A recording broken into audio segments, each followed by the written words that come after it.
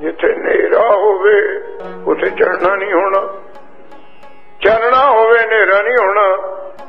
ਜਿੱਥੇ ਸ਼ਰਧਾ ਹੈ, ਉੱਥੇ ਸ਼ੰਕਾ ਨਹੀਂ ਹੋਣੀ। ਜਿੱਥੇ ਸ਼ੰਕਾ ਹੈ, ਉੱਥੇ ਸ਼ਰਧਾ ਨਹੀਂ ਹੋਣੀ। ਦੁੱਖ ਨਾ ਮਨਾਇਓ। ਸ਼ਰਧਾ ਤਾਂ ਹੁਣ ਆਈ ਨਹੀਂ। ਸ਼ੰਕਾ ਦੀ ਉਹ ਪੰਡ ਚੱਕੀ ਫਿਰਦੇ ਆ। ਅਜ ਕੇ ਅਖੋ ਸਤ ਸ਼ੰਕਾ ਦੀ ਪੰਡ ਚੱਕੀ ਫਿਰਦਾ ਹਰੇਕ ਸਿੱਖ। ਦੋਹਾਂ 'ਚ ਫ਼ਰਕ ਕੀ ਹੈ? ਸ਼ੰਕਾ ਪੈਦਾ ਹੁੰਦੇ ਆ, ਇੱਕ ਸਕਿੰਟ ਦੀ ਵੀ ਲੋੜ ਨਹੀਂ। ਇੱਕ ਸਕਿੰਟ 'ਚ। ਕਈ ਵਾਰ ਤੁਹਾਡੇ ਘਰੇ ਹੋ ਜਾਂਦੀ ਹੈ। ਚੀਜ਼ ਇਧਰ ਉਧਰ ਹੋ ਗਈ, ਨਿਆਣਿਆਂ ਤੇ ਘਰ ਵਾਲੀ ਤੇ ਸ਼ੰਕਾ ਕਰੇਗਾ। ਕਿ ਕੋ ਸਦਨਾਮ ਪਤਾ ਨਹੀਂ ਕੀਤੇ ਕੀਤੇ ਇੱਕ ਮਿੰਟ ਚ। ਸ਼ੰਕਾ ਪੈਦਾ ਹੋਣ ਲੱਗਿਆ ਇੱਕ ਸਕਿੰਟ ਦੀ ਵੀ ਲੋੜ ਨਹੀਂ। ਥੋੜੇ ਜਿਹਾ ਧਿਆਨ ਨਾਲ ਸੁਣਿਓ। ਸ਼ਰਧਾ ਪੈਦਾ ਹੋਣ ਖਾਤਰ ਸ਼ਾਇਦ ਕਈ ਜਨਮ ਲੱਗ ਜਾਣ। ਇੱਕ ਜਨਮ ਦੀ ਘਟਨਾ ਨਹੀਂ, ਕਿ ਸ਼ਰਧਾ ਪੈਦਾ ਇਹ ਕਈ ਜਨਮਾਂ ਦੀ ਘਟਨਾ ਹੈ। ਤਾਂ ਸ਼ਰਧਾ ਪੈਦਾ ਹੁੰਦੀ ਹੈ। ਸ਼ੰਕਾ, ਮਿੰਟ ਫਰ ਮਿੰਟ। ਸ਼ੰਕਾ ਪੈਦਾ ਹੋ ਗਈ। ਗੁਰਸਿੱਖ ਪਿਆਰਿਓ, ਗੁੱਸੇ ਹੋ ਗਏ। ਗੁਰੂ ਮਹਾਰਾਜ ਆਪ ਬੁਲਾਉਣ ਗਏ ਤੁਹਾਨੂੰ। ਚਲੋ ਆਉਣ ਤੋਂ ਜਵਾਬ ਦੇ ਦਿੰਦੇ, ਕੋਈ ਵੱਡੀ ਗੱਲ ਨਹੀਂ ਸੀ, ਗੁੱਸੇ ਗਿਲੇ ਹੁੰਦੇ ਰਹਿੰਦੇ। ਪਰ ਇੱਕ ਵਚਨ ਕਹਿ ਦਿੱਤਾ ਗੁਰੂ ਨਾਨਕ ਤੋਂ ਉਲਟ। ਇਹ ਗੁਰੂ ਨਾਨਕ ਦੇ ਦਰ ਤੇ ਸੰਗਤ ਤੁਹਾਡੇ ਕਰਕੇ ਨਹੀਂ ਆਉਂਦੀ, ਸਾਡਾ ਕੀਰਤਨ ਸੁਣਨ ਆਉਂਦੀ। ਅਸੀਂ ਜਿੱਥੇ ਮਰਜ਼ੀ ਕਰ ਲਾਂਗੇ ਜਦ ਵੱਡੇ ਗੁਰੂਆਂ ਤੋਂ ਉਲਟ ਸ਼ਬਦ ਸੁਣਿਆ, ਗੁਰ ਕੀ ਨਿੰਦਾ ਸੁਣੇ ਨਾ ਕਹਾਨ ਸਿੱਖ ਗੁਰੂ ਦੀ ਨਿੰਦੇ ਸੁਣੇ। ਚਲ ਸਿੱਖ ਦੀ ਤਾਂ ਗੱਲ ਛੱਡੋ। ਪੰਜਾਬੀ ਬੈਠੇ ਹੋ, ਉਹ ਪੁੱਤ ਵੀ ਪੁੱਤ ਨਹੀਂ ਹੁੰਦਾ, ਬਾਪੂ ਦੀ ਨਿੰਦਿਆ ਸੁਣ ਲਵੇ, ਅਜ ਕੇ ਕੋ ਸਤਨਾਮ। ਜਦੇ ਕੋਈ ਫੈਸਲਾ ਕਰ ਦਵੇ ਪਿਓ ਦੇ ਖਾਤਰ, ਉਹੀ ਪੁੱਤ ਹੁੰਦਾ। ਸ੍ਰੀ ਗੁਰੂ ਅਰਜਨ ਦੇਵ ਜੀ ਨੇ ਉਦਣ ਦਾਤ ਬਖਸ਼ੀ ਇੱਕ ਤੁਹਾਨੂੰ ਇਹ ਕਾਰਨ ਬਣਨਾ ਸੀ। ਬੜੀ ਚੰਗੀ ਘੜੀ ਸੀ ਉਹ। ਕਿ ਜਿੱਦਣ ਜਵਾਬ ਦਿੱਤਾ ਅਸੀਂ ਕੀਰਤਨ ਨਹੀਂ ਕਰਨਾ, ਉਹਨਾਂ ਦਾ ਜਵਾਬ ਹੀ ਤੁਹਾਡੇ ਖਾਤਰ ਵਰ ਹੋ ਗਿਆ। ਗੁਰੂ ਅਰਜਨ ਕਹਿੰਦੇ, ਸਿੱਖੋ ਅੱਜ ਤੋਂ ਕੀਰਤਨ ਤੁਸੀਂ ਆਪ ਕਰਿਆ ਕਰੋਗੇ। ਅਜ ਕੇ ਆਖੋ ਸਤਨਾਮ।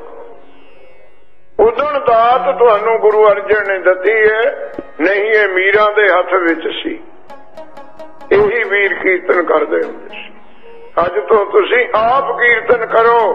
ਮਹਾਰਾਜ ਨੇ ਆਪ ਸਰੰਦਾ ਲੈ ਕੇ ਬਾਬਾ ਬੁੱਢਾ ਜੀ ਬੇਰ ਹੇਠ ਬੈਠ ਕੇ ਕੀਰਤਨ ਕਰਦੇ ਹੁੰਦੇ ਸੀ ਸੰਗਤਾਂ ਤੋਂ। ਤਾਂ ਗੁਰਮੁਖ ਪਿਆਰਿਓ, ਤੇ ਨਾਲ ਇੱਕ ਹੋਰ ਵੀ ਸਿੱਖ ਸੰਗਤ ਨੂੰ ਵਰ ਦੇ ਦਿੱਤਾ, ਉਹਨਾਂ ਨੂੰ ਵੀ ਇੱਕ ਵਚਨ ਦੇ ਦਿੱਤਾ। ਕਿ ਕੋਈ ਸਿੱਖ ਇਹਨਾਂ ਦਾ ਕੀਰਤਨ ਨਹੀਂ ਸੁਣੂਗਾ। ਇਹ ਵੀ ਵਚਨ ਮੈਂ ਟੁੱਟ ਗਿਆ, ਮਾਣ ਥੋੜੇ ਚਿਰ ਤੇ ਭੁੱਖੇ ਮਰਨ ਲੱਗੇ ਅਗਲੀ ਗੱਲ, ਤੁਹਾਡਾ ਇਤਿਹਾਸ ਮੰਨ ਰਿਹਾ ਕਿ ਲਾਹੌਰ ਗਏ ਭਾਈ ਲੱਧਾ ਜੀ ਦੇ ਕੋਲ। ਪਰਬਕਾਰੀ ਪਰਬਕਾਰ ਹੁੰਦਾ ਕੀ ਹੈ? ਹੁਣ ਤਾਂ ਤੁਸੀਂ ਮੇਰੇ ਵਰਗੇ ਨੂੰ ਵੀ ਕਹੀ ਜਾਂਦੇ ਆ ਪਰਬਕਾਰੀ ਆ ਬਾਬੇ। ਜੇ ਸਮਝ ਲਓ, ਫਿਰ ਹਰੇਕ ਨੂੰ ਨਹੀਂ ਕਹੋਗੇ। ਪਰਉਪਕਾਰ ਸ਼ਬਦ ਗ੍ਰਾਮਰ ਵਿੱਚ ਕਾਰ ਤੋਂ ਬਣਿਆ ਕਾਰ। ਇਹਦੀ ਉਪਜ ਕਾਰ ਹੈ। ਕੱਕੇ ਨੂੰ ਕੰਨਾ ਰਾਰਾ ਕਾਰ। ਕਾਰ ਕਹਿੰਦੇ ਆ ਕੋਈ ਕਾਰ ਕਰ ਲੈ, ਕੰਮ ਕਰ ਲੈ। ਕਿਰਤ। ਕਾਰ ਕਹੀਏ ਕਿਰਤ। ਜਿਹੜੀ ਕੱਲੀ ਕਿਰਤ ਹੈ ਨਾ ਪ੍ਰੇਮੀਓ ਉਹ ਸੰਸਾਰ ਨਾਲ ਸੰਬੰਧ ਰੱਖਦੀ ਹੈ। ਕੱਲੀ ਕਿਰਤ, ਉਹ ਵਜੀਬਕਾ ਹੈ। ਗੁਜਰਾਨ ਹੈ ਮਾਇਆ। ਉਹ ਕਿਰਤ ਜਿਹੜੀ ਤੇਰੇ ਸਰੀਰ ਦਾ ਨਿਰਵਾਹ ਕਰੇ, ਉਹ ਕਾਰ ਹੁੰਦੀ ਹੈ। ਕਾਰ ਦੇ ਨਾਲ ਇੱਕ ਸ਼ਬਦ ਲੱਗ ਗਿਆ ਉਪ। ਉਪਕਾਰ। ਦੇਖੋ, ਪਿੱਛੇ ਕਾਰੇ ਚਲਿਆ ਹੁੰਦਾ ਉਪ ਕਹੀਏ ਉੱਚਾ ਉਤਾਹਾਂ ਕਿਰਤ ਤੋਂ ਉੱਚੀ ਇੱਕ ਕਿਰਤ ਹੈਗੀ ਉਹ ਕਿਹੜੀ? ਕਿਰਤ ਹੁੰਦੀ ਹੈ ਸਰੀਰ ਦਾ ਭਲਾ। ਸਰੀਰ ਦਾ ਗੁਜਰਾਨ। ਉੱਚੀ ਕਿਰਤ ਹੁੰਦੀ ਹੈ ਸੇਵਾ ਸਿਮਰਨ ਤੇਰੀ ਰੂਹ ਦੀ ਖੁਰਾਕ। ਅਜ ਕੇ ਜਿਹੜੀ ਕੱਲੀ ਕਿਰਤ ਹੈ, ਉਹ ਤੇਰੇ ਸਰੀਰ ਦੇ ਕੰਮ ਆਊਗੀ। ਜਿਹੜੀ ਉੱਚੀ ਕਿਰਤ ਹੈ, ਇਸ ਨਾਲੋਂ ਸੇਵਾ ਸਿਮਰਨ ਦਾਨ ਪੁੰਨ ਉਹ ਤੇਰੇ ਜੀਵ ਦਾ ਭਲਾ ਹੋਵੇਗਾ। ਇਹ ਤੋਂ ਵੀ ਗਾਂ ਚੱਲੋ। ਕਾਰ ਤੋਂ ਬਣਿਆ ਉਪਕਾਰ ਉਪਕਾਰ ਤੋਂ ਬਣ ਗਿਆ ਪਾਰ ਉਪਕਾਰ। ਦੋ ਸ਼ਬਦ ਜੁੜ ਗਏ ਨਾਲ। ਪਿੱਛੋਂ ਕਾਰੇ ਕਾਰ ਤੋਂ ਉਪ ਉਪ ਤੋਂ ਪਰ। ਉਹ ਕੀ ਹੁੰਦਾ ਗੁਰਮੁਖ ਪਿਆਰਿਓ? ਉਹ ਕੰਮ ਜਿਹੜੇ ਵਿੱਚ ਨਾ ਤੇਰੇ ਸਰੀਰ ਦਾ ਭਲਾ ਹੋਵੇ, ਨਾ ਤੇਰੇ ਜੀਵ ਆਤਮਾ ਦਾ ਭਲਾ ਹੋਵੇ। ਉਹ ਕੰਮ ਨਾ ਇਸ ਸੰਸਾਰ ਵਿੱਚ ਤੇਰਾ ਭਲਾ ਦਿਖੇ, ਨਾ ਅਗਲੇ ਜਹਾਨ ਵਿੱਚ ਉਹ ਭਲਾ ਹੀ ਕਿਸੇ ਹੋਰ ਦਾ ਹੋਵੇ, ਅਜ ਕੇ ਆਖੋ ਸਤ ਉਹ ਕੰਮ ਹੀ ਕਿਸੇ ਹੋਰ ਖਾਤਰ ਹੋਵੇ, ਉਹ ਹੁੰਦਾ ਉਹ ਕੌਣ ਕਰਦੇ ਨੇ? ਪਰ ਉਪਕਾਰ ਨਿਤ ਚਿਤਵ ਤੇ ਨਾਹੀ ਕਛ ਪੋਚ ਰੱਬ ਦੇ ਪਿਆਰੇ। ਉਹ ਕੇਵਲ ਉਹੀ ਕਰ ਸਕਦੇ ਨੇ, ਆਪਣੀ ਇੱਛਾ ਨਹੀਂ ਕੋਈ ਵੀ ਹੈ। ਬੁਰਾ ਕਹੋ, ਭਾਵੇਂ ਭਲਾ ਕਹੋ। ਤੇ ਜੋ ਚੰਗੇ ਕੰਮ ਕਰਨ ਵਾਲੇ ਹੁੰਨੇ ਐ ਸੰਸਾਰ ਨੇ ਕਦੇ ਚੰਗਾ ਤਾਂ ਉਹਨਾਂ ਨੂੰ ਕਿਹਾ ਨਹੀਂ, ਬੁਰਾ ਹੀ ਕਿਹਾ ਹੈ ਅੱਜ ਕਿਹਾ ਖੋਸਤ ਸੱਚ ਬੋਲਣ ਵਾਲਿਆਂ ਦੀ ਵਿਰੋਧਤਾ ਹੀ ਹੋਈ ਹੈ। ਹੋਈ ਜਾਵੇ, ਕਹੀ ਜਾਣ ਲੋਕ ਬੁਰਾ, ਪਰ ਨਤੀਜਾ ਦੇਖੇ ਕਰੋ। ਇਟਾ ਮਾਰ ਲੈਣ, ਸੂਈ ਤੇ ਚਾੜ ਦੇਣ, ਤਵੀਆਂ ਤੇ ਬਿਠਾਲ ਦੇਣ, ਬੰਦ ਬੰਦ ਕੱਢ ਦੇਣ। ਪਰ ਕੂੜ ਨਖੋਟੇ ਨਾਨਕਾ ਓੜਕ ਜਿੱਤ ਅਖੀਰ ਨੂੰ ਸੱਚ ਦੀ ਹੋਣੀ ਪਰਉਪਕਾਰ ਹੁੰਦਾ ਕਿਸੇ ਹੋਰ ਦਾ ਭਲਾ, ਕਿਸੇ ਦਾ ਭਲਾ। ਤੇਰੀ ਵਿੱਚ ਗੱਲ ਨਹੀਂ ਹੈ, ਗੱਲੇ ਕਿਸੇ ਹੋਰ ਦੀ ਹੋਵੇ। ਇਥੋਂ ਇੱਕ ਨੁਕਤਾ ਸਿੱਖੇ ਹੁਣ ਤੁਸੀਂ, ਅੰਮ੍ਰਿਤਸਰ ਗੁਰੂ ਦੀ ਨਗਰੀ। ਜਿੱਥੇ ਸਭੇ ਥਾਵ ਨਹੀਂ ਤੁਧ ਜਿਹਿਆ, ਐਡੀ ਉਪਮਾ ਸਾਰੇ ਅੰਮ੍ਰਿਤਸਰ ਵਿੱਚ ਇਹਨਾਂ ਮੀਰਾਂ ਨੂੰ ਕੋਈ ਪਰਵਕਾਰ ਨਹੀਂ ਲੱਭਿਆ ਤਾਂ ਲਾਹੌਰ ਗਏ ਨਾ। ਨੁਕਤਾ ਸਮਝੀਦਾ ਹੁੰਦਾ ਵਿੱਚੋਂ। ਕੀ ਅੰਮ੍ਰਿਤਸਰ ਵਿੱਚ ਸਿੱਖ ਨਹੀਂ ਥੇ ਨਾਮ ਜਪਣ ਵਾਲੇ ਨਹੀਂ ਸੀ? ਬਹੁਤ ਸੀ, ਪਰ ਉਪਕਾਰੀ ਨਹੀਂ ਲੱਭਿਆ। ਕਿਉਂ ਨਹੀਂ ਲੱਭਿਆ? ਸੀ। ਪਰ ਗੁਰੂ ਅਰਜਨ ਦੇਵ ਨੇ ਬਚਨ ਕਰਤਾ ਸੀ, ਜਿਹੜਾ ਇਹਨਾਂ ਦੀ ਸਿਫਾਰਿਸ਼ ਕਰੂਗਾ, ਉਹਦਾ ਮੂੰਹ ਕਾਲਾ ਕਰਕੇ ਖੋਤੇ ਤੇ ਬਿਠਾਲ ਕੇ ਚਿਤਰਾਂ ਦੀ ਮਾਲਾ ਪਾ ਕੇ ਅੰਮ੍ਰਿਤਸਰ ਦੇ ਬਾਜ਼ਾਰਾਂ 'ਚ ਭੇਜਿਆ ਜਾਓ। ਕਿਹੜਾ ਮੰਨਦਾ ਹੈ ਕੋਈ ਮੰਨਣ ਨੂੰ ਤਿਆਰ ਹੈ ਆਪਣੇ ਚੋਂ? ਜਦ ਕੋਈ ਅੰਮ੍ਰਿਤਸਰ ਨਾ ਲੱਭਿਆ ਨੁਕਤਾ ਕੀ ਲਾਉਂਗੇ? ਪਰਪਕਾਰੀ ਵਿਰਲੇ ਮਿਲਣਗੇ ਅਜ ਕੇ ਆਖੋ ਸਤਨਾਮ। ਜੇ ਬਹੁਤੇ ਹੁੰਦੇ, ਅੰਮ੍ਰਿਤਸਰ ਤੋਂ ਹੀ ਲੱਭ ਪੈਂਦਾ ਕੋਈ। ਨਹੀਂ ਲੱਭਿਆ ਸਾਰੇ ਸ਼ਹਿਰ ਚ।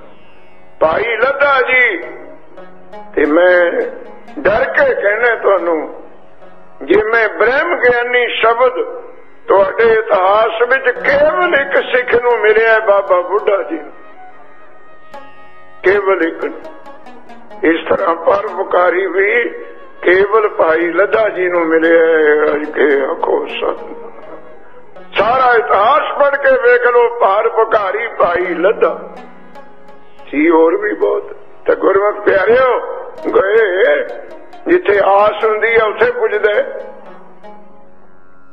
ਤੇ ਜਿਹੜੇ ਪਹਿਰੇਦਾਰ ਖੜੇ ਤੇ ਉਹਦਾ ਸਥਾਨ ਸੀ, ਕਦਾ ਕੀਰਤਨ ਚੱਲਦਾ ਸੀ, ਉਹ ਕਹਿੰਦੇ ਅੰਦਰ ਨਾ ਵੜਿਓ ਰੋਕਤਾ ਕਿਉਂਕਿ ਮਹਾਰਾਜ ਦਾ ਬਚਨ ਸੀ, ਇਹਨਾਂ ਨੂੰ ਨੇੜੇ ਨਹੀਂ ਲਾਉਣਾ। ਰੋਣ ਪਿੱਟਣ। ਭਾਈ ਲੱਦਾ ਜੀ ਕਹਿੰਦੇ, ਕੌਣ ਹੈ? ਰੋਂਦੇ ਕਿਉਂ ਹੈ? ਕਹਿੰਦੇ ਜੀ, ਗੁਰੂ ਤੋਂ ਬੇਮੁਖ ਡੂਮ ਆਏ ਨੇ। ਭਾਈ ਲੱਦਾ ਜੀ ਕਹਿੰਦੇ, ਜਿਹੜੇ ਆਏ ਗਏ, ਅੰਦਰ ਆਉਣ ਦੋ। ਅਜ ਕੇ ਆਖੋ ਸਤਨਾ ਜਿਹੜੇ ਆਏ ਗਏ ਤੇ ਹੁਣ ਕੀ ਹੈ? ਆਉਣ ਦੋ। ਅੰਦਰ ਆ ਗਏ ਚਰਨ ਫੜੇ। ਬੇਨਤੀ ਕੀਤੀ ਲਦਿਆ ਤੂੰ ਪਰ ਪੁਕਾਰੀਆਂ, ਸਾਨੂੰ ਟੁੱਟਿਆਂ ਨੂੰ ਜੋੜ ਦੇ। ਮਲਾ ਦੇ, ਵਿਛੜੇ ਫਿਰ ਸਿਰਾਪੇ। ਕਹਿੰਦਾ ਬੈਠੋ ਫਿਰ। ਆਪਣੇ ਸੇਵਕਾਂ ਨੂੰ ਕਹਿੰਦਾ ਇਹਨਾਂ ਨੂੰ ਲੰਗਰ ਛਕਾਓ। ਬੁਰਾ ਹਾਲ, ਕੱਪੜੇ ਚੰਗੇ ਪਵਾਏ ਇਸ਼ਨਾਨ ਕਰਾਇਆ। ਉਹਨਾਂ ਨੂੰ ਉਧਰ ਤਿਆਰੀ ਚਲਾਤਾ ਆਪ ਆਪਣੇ ਇੱਕ ਸਿੱਖ ਨੂੰ ਭੇਜਤਾ। ਜਾਂ ਪਰਜਾ ਪਤਾ ਦੇ ਮਹੱਲੇ 'ਚ ਜਾ। 3 ਰੁਪਏ ਰੋਜ਼ ਦੇ। ਬਹੁਤ, ਹੁਣ ਤਾਂ 3000 ਦੇ ਬਰਾਬਰ ਹੋਣੇ ਇੱਕ ਚੰਗਾ ਜਿਹਾ ਖੋਤਾ ਲਿਆ ਉਹਨਾਂ ਤੋਂ ਨਾਲ ਲਿਆਈ ਮਾਲਕ ਨੂੰ। ਆਪ ਮੰਗਾਇਆ, ਅੰਮ੍ਰਿਤਸਰ ਜਾਣਾ, ਸਮਾਨ ਲੈਣ। ਉਹ ਪ੍ਰਜਾਪਤ ਖੋਤਾ ਲੈ ਕੇ ਆ ਗਏ ਇੰਨੇ ਨੂੰ ਕੀ ਹੋਇਆ? ਭਾਈ ਲੱਦਾ ਜੀ ਲੰਗਰ ਵਿੱਚ ਗਏ। ਰੋਟੀਆਂ ਪਕਾਉਣ ਵਾਲੀ ਤਵੀ ਮਾਰੀ ਮੂਧੀ। ਉਹਦੇ ਉੱਤੇ ਪਾਇਆ ਘੀ ਜਾਂ ਤੇਲ ਕਰਕੇ ਐਨ ਕਾਸ ਆਪਣਾ ਮੂੰਹ ਕਾਲਾ ਕਰ ਲਿਆ। ਖੋਤੇ ਤੇ ਬਹਿ ਗਏ। ਪਿੱਛੇ ਪਿੱਛੇ ਡੂਮ। ਇਹ ਜਿਹਾ ਕੰਮ ਤਾਂ ਫਿਰ ਤੁਹਾਡੇ ਵਰਗੇ ਇਕੱਠੇ ਹੋਏ ਜਾਂਦੇ ਆ। ਅੱਜ ਕੇ ਅਕੋਲ ਸਤਨਾਮ, ਕੋਈ ਕਥਾ ਕੀਰਤਨ ਕਰਦਾ ਹੋਵੇ, ਖੰਡ ਪਾਠ ਹੁੰਦਾ ਹੋਵੇ, ਉੱਥੇ ਮੱਥਾ ਟੇਕਣ ਨਹੀਂ ਜਾਂਦੇ। ਕਿਤੇ ਬਾਂਦਰੀ ਨੱਚਦੀ ਹੋਵੇ, ਉੱਥੇ ਸਿਆਣੇ ਖੜੇ ਵੀ ਦੇਖੇ, ਮੈਂ ਅੱਜ ਸਤਨਾਮ। ਕਿਤੇ ਡੁਗ ਡੁਗੀ ਵੱਜਦੀ ਹੋਵੇ, ਉੱਥੇ ਤਾਂ ਭੀੜ ਦਾ ਲੱਗ ਜਾਂਦੀ। ਉਹ ਖੋਤੇ ਤੇ ਚੜਿਆ ਹੋਇਆ, ਕਾਲਾ ਮੂੰਹ ਕੀਤਾ ਹੋਇਆ, ਉਦਾਂ ਹੀ ਆ ਗਏ ਕਿੰਨੇ ਕੋ ਹੈ, ਦੇਖ ਲੋ ਪੁਰਾਣੇ ਲਾਹੌਰ। ਉਦਾਂ ਹੀ ਹੋ ਗਏ ਆ ਗਏ ਹਰਮੰਦਰ ਸਾਹਿਬ ਦੇ ਨੇੜੇ, ਭੀੜ, ਨਿਆਣੇ ਨਿੱਕਰ ਸਿਆਣੇ ਦੇਖਣੇ, ਹੋ ਕੀ ਰਿਹਾ ਚਿਤਰਾਂ ਦੀ ਮਾਲਾ ਪਾਈ ਵੀ। ਅੰਦਰ ਹੋਵੇ ਕੀਰਤਨ ਤੇ ਬਾਹਰ ਰੌਲਾ ਪੈਣ ਲੱਗੇ ਇੰਨਾ ਕੱਠ ਗੁਰੂ ਅਰਜਨ ਕਹਿੰਦੇ, ਰੌਲਾ ਕਦੇ ਪੈਂਦਾ ਕੀਰਤਨ ਦੇ ਸਮੇਂ? ਕਹਿੰਦੇ, ਮਹਾਰਾਜ, ਉਹ ਤੁਹਾਡਾ ਪਰਪਕਾਰੀ ਭਾਈ ਲੱਦਾ ਖੋਤੇ ਤੇ ਚੜਿਆ ਹੋਇਆ ਕਾਲਾ ਮੂੰਹ ਕੀਤਾ ਚਿਤਰਾਂ ਦੀ ਮਾਲਾ ਪਾਈ ਹੈ। ਉਹਦਾ ਜਲੂਸ ਨਿਕਲਿਆ ਫਿਰਦਾ ਤੇ ਅੱਧੇ ਲੋਕ ਬਾਜ਼ਾਰ ਦੇ ਪਿੱਛੇ ਪਿੱਛੇ ਆਏ ਨੇ, ਰੋਲਾ ਇਹਦੇ ਲੱਦਾ ਕੱਲਾ ਨਹੀਂ ਆਇਆ ਫਿਰ। ਸਾਰੀ ਗੱਲ ਦੱਸੋ। ਕਹਿੰਦਾ ਮਹਾਰਾਜ, ਡੂਮਾ ਨੂੰ ਵੀ ਨਾਲ ਲੈ ਕੇ ਆਇਆ। ਕਹਿੰਦੇ, ਹੁਣ ਕਿਵੇਂ ਮੋੜੀਏ? ਜਿਹੜੀ ਅਸਾਂ ਸਜ਼ਾ ਦੇਣੀ ਤੇ ਉਹ ਤੋਂ ਨੇ ਆਪੇ ਲੈ ਲਈ। ਅਜ ਕੇ ਕੋਲ ਸਤਨਾਮ। ਜਿਹੜੀ ਅਸਾਂ ਸਜ਼ਾ ਦੇਣੀ ਤੇ ਉਹ ਤੋਂ ਲੈ ਲਈ ਉਹਨੇ, ਤੇ ਆਉਣ ਦੋ ਹੁਣ। ਜੇ ਸਜ਼ਾ ਹੀ ਭੁਗਤ ਲਈ, ਫਿਰ ਜੇਲ੍ਹ ਦੇ ਦਰਵਾਜ਼ੇ ਖੁੱਲ ਜਾਂਦੇ ਨੇ। ਇਹਨੇ ਸਜ਼ਾ ਭੁਗਤ ਲਈ, ਜਾਣ ਦੋ। ਜਿਹੜੀ ਅਸੀਂ ਸਜ਼ਾ ਦਿੱਤੀ ਸੀ, ਉਹ ਤਾਂ ਉਹਨੇ ਲੈ ਲਈ। ਆ ਜਾਣ ਦੋ। ਚਰਨ ਫੜ ਲੈ ਲਦਿਆ, ਦੱਸ ਕਹਿੰਦਾ ਮਹਾਰਾਜ ਇਹ ਨਿਮਾਣਿਆਂ ਦਾ ਮਾਣ ਇਹ ਉਹ ਹੈ ਜੋ ਸ਼ਰਨ ਆਵੇ ਤਿਸ ਕੰਠ ਲਾਵੇ, ਇਹ ਬਿਰਧ ਸੁਆਮੀ ਸੰਤ। ਗੁਰੂ ਅਰਜਨ ਕਹਿੰਦੇ, ਮੇਰੀ ਗੱਲ ਨਹੀਂ ਲਦਿਆ। ਇਹਨੇ ਬੜੇ ਗੁਰੂਆਂ ਦੀ ਨਿੰਦਿਆ ਕੀਤੀ ਹੈ। ਗੁਰੂ ਨਾਨਕ ਤੋਂ ਉਲਟ ਕਹਿੰਦਾ ਮਹਾਰਾਜ ਜਿਹੜਾ ਡਾਕਟਰ ਬਿਮਾਰੀ ਦੱਸਦਾ ਉਹ ਦਵਾਈ ਵੀ ਦੱਸ ਸਕਦਾ ਜੇ ਤੁਹਾਨੂੰ ਇਹਨਾਂ ਦੀ ਬਿਮਾਰੀ ਦੀ ਪਤਾ, ਦਵਾਈ ਵੀ ਦੱਸ ਦੋ ਦਵਾਈ ਦੱਸ ਦਿੱਤੀ, ਜਿਸ ਮੂੰਹ ਨਾਲ ਨਿੰਦਿਆ ਕੀਤੀ ਹੈ ਉਸੇ ਮੂੰਹ ਨਾਲ ਵੱਡੇ ਸਤਿਗੁਰਾਂ ਦੀ ਸਿਫਤ ਕਰਨਾ। ਉਸਤਤ ਕਰਨਾ। ਫੇਰ ਇਹ ਬਖਸ਼ੇ ਜਾਂਦੇ ਨੇ। ਆਓ ਹੁਣ ਜਿਹੜੀ ਸਿਫਤ ਕੀਤੀ ਉਹਨਾਂ ਨੇ, ਉਹ ਰਾਮ ਕਲੀ ਦੀ ਵਾਰ ਰਾਏ ਬਲਬੰਡ ਤਥਾ ਸੱਤੈ ਡੂਮ ਆਖੀ। ਇਥੋਂ ਰੰਭ ਹੋ ਰਹੀ ਹੈ। ਆਓ ਪਿਆਰ ਦੇ ਨਾਲ ਗੁਰੂ ਮਹਾਰਾਜ ਮੇਰੇ ਤੇ ਮਿਹਰ ਕਰਨ ਤੁਹਾਡੇ ਚਰਨਾਂ ਦੀ ਬਖਸ਼ਿਸ਼ ਹੋਵੇ। ਇਹ ਅਗਾਧ ਬੋਧ ਬਾਣੀ, ਇਹ ਕੱਲੀ ਵਾਰ ਨਹੀਂ ਹੈ। ਇਹਦੇ ਵਿੱਚ ਪੰਜ ਗੁਰੂਆਂ ਦਾ ਇਤਿਹਾਸ ਹੈ। ਇਹਦੇ ਵਿੱਚ ਕਰਤਾਰਪੁਰ ਵੀ ਆ ਜਾਣਾ ਖੰਡੂਰ ਸਾਹਿਬ ਵੀ ਆ ਜਾਣਾ ਗੋਇੰਦਵਾਲ ਸਾਹਿਬ ਵੀ ਆ ਜਾਣਾ ਤਰਨ ਤਾਰਨ ਵੀ ਆ ਜਾਣਾ ਇਹਦੇ ਵਿੱਚ ਅੰਮ੍ਰਿਤਸਰ ਵੀ ਆ ਜਾਣਾ ਇਹਦੇ ਵਿੱਚ ਗੁਰੂ ਨਾਨਕ ਵੀ ਆਉਣਗੇ। ਗੁਰੂ ਅੰਗਦ, ਗੁਰੂ ਅਮਰਦਾਸ, ਗੁਰੂ ਰਾਮਦਾਸ, ਗੁਰੂ ਅਰਜਨ ਵੀ ਆਉਣਗੇ ਇਹਦੇ ਵਿੱਚ। ਐਡਾ ਇਤਿਹਾਸ ਇਹਦੇ ਵਿੱਚ ਖਜ਼ਾਨਾ ਭਰਿਆ ਸਾਡੇ ਖਾਤਰ। ਇੱਕ ਵਾਰ ਸ਼ਰਧਾ ਭਾਵਨਾ ਦੇ ਨਾਲ, ਪਿਆਰ ਦੇ ਨਾਲ ਸਾਰੇ ਆਖੋ, ਸਤਨਾਮ ਸ੍ਰੀ ਵਾਹਿਗੁਰੂ। ਵਾਹਿਗੁਰੂ ਸਾਹਿਬ ਜੀਓ ਰਾਮ ਕਲੀ ਕੀ ਵਾਰ, ਰਾਏ ਬਲਵੰਡ ਤਥਾ ਸਤੈ ਡੂਮਾਖੀ। ਰਾਮ ਕਲੀਏ ਜਿਹੜਾ ਇਹ ਰਾਗੀ ਜਾਣਦੇ ਨੇ, ਰਾਗ ਨਹੀਂ ਹੈ। ਰਾਮ ਕਲੀ ਰਾਗਣੀ ਹੈ। ਰਾਗ ਤਾਂ ਹੈ ਹੀ ਛੇ, ਤੁਹਾਨੂੰ ਪਤਾ ਖਸ਼ਟ ਰਾਗ ਉਹਨ ਗਾਏ। ਬਾਕੀ ਦਾ ਪਰਿਵਾਰ ਹੈ, ਰਾਗਣੀਆਂ ਨੇ। ਤੇ ਗੁਰੂ ਗ੍ਰੰਥ ਸਾਹਿਬ ਵਿੱਚ ਰਾਗ ਨੂੰ ਵੀ ਰਾਗ, ਰਾਗਣੀ ਨੂੰ ਵੀ ਰਾਗ ਲਿਖਿਆ। ਰਾਗਣੀ ਨਹੀਂ ਲਿਖਿਆ। ਰਾਗਣੀ ਦਾ ਨਾਮ ਵੀ ਰਾਗ ਲਿਖਿਆ। ਕਿਉਂ ਲਿਖਿਆ? ਕੋਈ ਪੁੱਛੇ, ਇਹ ਵੀ ਰਾਗਣੀ ਨੂੰ ਰਾਗਣੀ ਕਿਉਂ ਨਹੀਂ ਲਿਖਿਆ? ਰਾਗਣੀ ਵਿੱਚ ਇੱਕ ਦੋਸ਼ ਸੀ। ਦੋਸ਼ ਕੀ? ਸਰਾ ਛਤਰੀ ਤੇ ਸੁਰ। ਨੋਟ ਕਰਿਓ, ਤਿੰਨਾਂ ਨੂੰ ਸੱਸਾ ਲੱਗਦਾ ਹੈ। ਸੁਰ, ਸਰਾ, ਸਤਰੀ। ਸੁਰ ਕਹੀਏ ਰਾਗਣੀ। ਜਿੱਥੇ ਰਾਜਿਆਂ ਦੇ ਮਹਿਲਾਂ ਵਿੱਚ ਨਾਚ ਹੁੰਦੇ ਸੀ, ਬਿਸਵਾ ਨੱਚਦੀਆਂ ਸੀ, ਉਥੇ ਰਾਗਣੀ ਗਾਈ ਜਾਂਦੀ ਸੀ, ਅਜ ਕੇ ਆਖੋ ਸਤਨਾਮ। ਕਾਮ ਪਰਾਗ ਰਾਗਣੀਆਂ ਨੇ ਅੰਦਰ ਵਿਸ਼ੇ ਵਿਕਾਰ ਪੈਦਾ ਕਰਨ ਵਾਲੀਆਂ। ਇਹ ਤਿੰਨ ਚੀਜ਼ਾਂ ਨੂੰ ਸੱਸੇ ਲੱਗਦੇ ਨੇ, ਸੁਰ, ਰਾਗਣੀ, ਸਰਾ ਸ਼ਰਾਬ ਸਤਰੀ, ਇਸਤਰੀ। ਉਹੀ ਗਾਉਂਦੀ ਸੀ ਉੱਥੇ ਬੇਸਵਾ। ਮਹਾਰਾਜ ਨੇ ਇਸ ਗੱਲ ਤੋਂ ਤੁਹਾਨੂੰ ਬਚਾ ਲਿਆ ਰਾਗਣੀ ਨੂੰ ਵੀ ਰਾਗ ਬਣਾ ਕੇ ਦੇ ਦਿੱਤਾ ਕਿ ਆਖੋ ਸਤਨਾਮ। ਰਾਗ ਦਾ ਅਰਥ ਹੈ ਪ੍ਰੇਮ ਸ਼ਰਦਾ ਪ੍ਰੇਮ।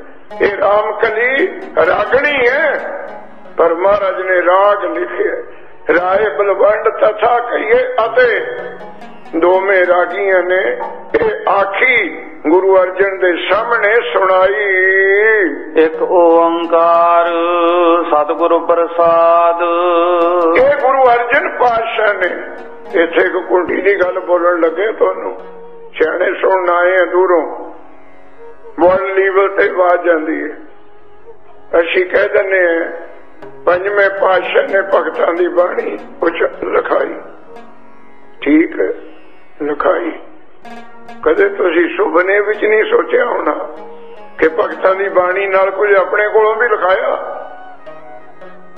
ਸੰਗਤ ਬੈਠੀ ਹੈ ਸਿਆਣੀ, ਕਦੇ ਸੋਚੀ ਗੱਲ? ਜਿੱਥੇ ਭਗਤਾਂ ਦੀ ਬਾਣੀ ਆਰੰਭ ਹੋਈ ਹੈ, ਜਿਹੜਾ ਉੱਥੇ ਮੂਲ ਮੰਤਰ ਲਿਖਿਆ ਹੈ ਨਾ, ਉਹ ਗੁਰੂ ਅਰਜਨ ਨੇ ਆਪਣੇ ਕੋਲੋਂ ਲਿਖਿਆ ਹੈ। ਆਖੋ, ਸਤਨਾਮ। ਭਗਤਾਂ ਦੇ ਸਾਰੇ ਗ੍ਰੰਥ ਪੜ੍ਹ ਕੇ ਦੇਖ ਲਓ, ਇੱਕ ਓੰਕਾਰ ਸਤਿਗੁਰ ਪ੍ਰਸਾਦ ਉਹਨਾਂ ਵਿੱਚ ਹੈ ਨਹੀਂ। ਮੈਂ ਕਬੀਰ ਬੀਜਕ ਪੜ੍ਹਿਆ ਸਾਰਾ। ਗੁਰੂ ਗ੍ਰੰਥ ਸਾਹਿਬ ਤੋਂ ਵੀ ਵੱਡਾ ਗ੍ਰੰਥ ਹੈ। ਕਬੀਰ ਨੇ ਕਿਤੇ ਇੱਕ ਓੰਕਾਰ ਸਤਿਗੁਰ ਪ੍ਰਸਾਦ ਨਹੀਂ ਲਿਖਿਆ। ਰਵਦਾਸ ਜੀ ਨੇ ਲਿਖਿਆ ਨਹੀਂ ਭਗਤ ਬਾਣੀ ਵਿੱਚ ਇਹ ਜਿਹੜਾ ਮੂਲ ਮੰਤਰ ਲਾਇਆ ਨਾ, ਅਲੰਕਾਰ, ਇਹ ਵੀ ਭਗਤਾਂ ਦੀ ਬਾਣੀ ਨਾਲ ਗੁਰੂ ਅਰਜਨ ਦੇਵ ਜੀ ਨੇ ਸ਼ਾਮਲ ਕੀਤਾ ਅਜ ਕੇ ਆਖੋ ਸਤਨਾਮ। ਇਹ ਹੁੰਦਾ ਅਲੰਕਾਰ। ਅਲੰਕਾਰ ਹੁੰਨੇ ਤਿੰਨ ਰੂਪਾਂ ਵਿੱਚ। ਜਦੋਂ ਕੋਈ ਕੰਮ ਸ਼ੁਰੂ ਕਰਨਾ ਆਪਣੇ ਇਸ਼ਟ ਨੂੰ ਯਾਦ ਕਰਨਾ, ਉਹਦੇ ਗੁਣ ਦੱਸਣੇ। ਵਡਿਆਈ, ਨੰਬਰ 2 ਦੂਜਾ ਅਲੰਕਾਰ ਹੁੰਦਾ ਆਪਣੇ ਇਸ਼ਟ ਨੂੰ ਨਮਸਕਾਰ ਕਰਨੀ। ਨੰਬਰ 3 ਆਪਣੇ ਇਸ਼ਟ ਤੋਂ, ਗੁਰੂ ਤੋਂ ਆਪਣੇ ਕੰਮ ਦੀ ਸਫਲਤਾ ਵਾਸਤੇ ਅਸ਼ੀਰਵਾਦ ਮੰਗਣੀ। ਇਹ ਤਿੰਨ ਅਲੰਕਾਰ ਕਿਹੜੇ ਹੁੰਦੇ ਆ? ਗੁਣਾਤਮਕ ਨਮਸ, ਅਲੰਕਾਰ। ਆਪਣੇ ਗੁਰੂ ਦੇ ਗੁਣ ਦੱਸਣੇ। ਨੰਬਰ 2 ਨਮਸਕਾਰ ਆਤਮਕ ਅਲੰਕਾਰ। ਆਪਣੇ ਗੁਰੂ ਨੂੰ ਮੱਥਾ ਟੇਕਣਾ। ਨੰਬਰ 3 ਅਸ਼ੀਰਵਾਦ ਆਤਕ ਅਲੰਕਾਰ। ਆਪਣੇ ਗੁਰੂ ਤੋਂ ਆਪਣੇ ਕੰਮ ਦੇ ਰਾਸ ਹੋਣ ਖਾਤਰ ਅਸ਼ੀਰਵਾਦ ਮੰਗਣੀ। ਇਹ ਤਿੰਨ ਤਰ੍ਹਾਂ ਦੇ ਅਲੰਕਾਰ ਹੁੰਦੇ ਇੱਕ ਸ਼ਲੋਕ ਪੜ੍ਹ ਲਓ, ਤੁਹਾਨੂੰ ਤਿੰਨਾਂ ਦਾ ਪਤਾ ਲੱਗ ਜੂ। ਗੁਰੂ ਅਰਜਨ ਦੇਵ ਨੇ ਇੱਕ ਸ਼ਲੋਕ ਵਿੱਚ ਤਿੰਨ ਅਲੰਕਾਰ। ਕੋਈ ਐਸਾ ਕਵੀ ਨਹੀਂ ਤੁਹਾਨੂੰ ਲੱਗੂਗਾ ਇੱਕ ਸ਼ਲੋਕ। ਸੁਣਦੇ ਤਾਂ ਨਿੱਤੇ ਹੋ ਤੁਸੀਂ। ਡੰਡੌਤ ਬੰਧਨ ਅਨਕਵਾ ਨਮਸਕਾਰ ਆਤਮਕ ਹੋ ਗਏ ਨਾ, ਮੱਥਾ ਟੇਕੇ। ਦੂਆ ਸਰਬ ਕਲਾ ਸਮਰੱਥ। ਗੁਣਵਾਦ ਹੋ ਗਿਆ ਮੇਰਾ ਗੁਰੂ, ਸਾਰਿਆਂ ਕਲਾ ਵਿੱਚ ਸੰਪੂਰਨ। ਗੁਣਵਾਦ ਹੋ ਗਿਆ। ਤੀਸਰਾ ਆਸ਼ੀਰਵਾਦ ਆ ਗਈ ਡੋਲਨ ਤੇ ਰੱਖੋ ਪ੍ਰਭੂ। ਮੇਰੇ ਕਾਰਜ ਨੂੰ ਸਫਲਤਾ ਕਰਨੀ ਮੈਂ ਡੋਲਾ ਨਾ ਨਾਨਕ ਦੇ ਕਰ ਇੱਕੋ ਸ਼ਲੋਕ ਵਿੱਚ ਤਿੰਨ ਅਲੰਕਾਰ। ਸਾਰੇ ਧਰਮਾਂ ਦੇ ਆਪਣੇ ਆਪਣੇ ਅਲੰਕਾਰ ਨੇ। ਸਿੱਖ ਧਰਮ ਦਾ ਅਲੰਕਾਰ ਚਾਰ ਰੂਪ ਨੇ ਗੁਰੂ ਗ੍ਰੰਥ ਸਾਹਿਬ ਵਿੱਚ।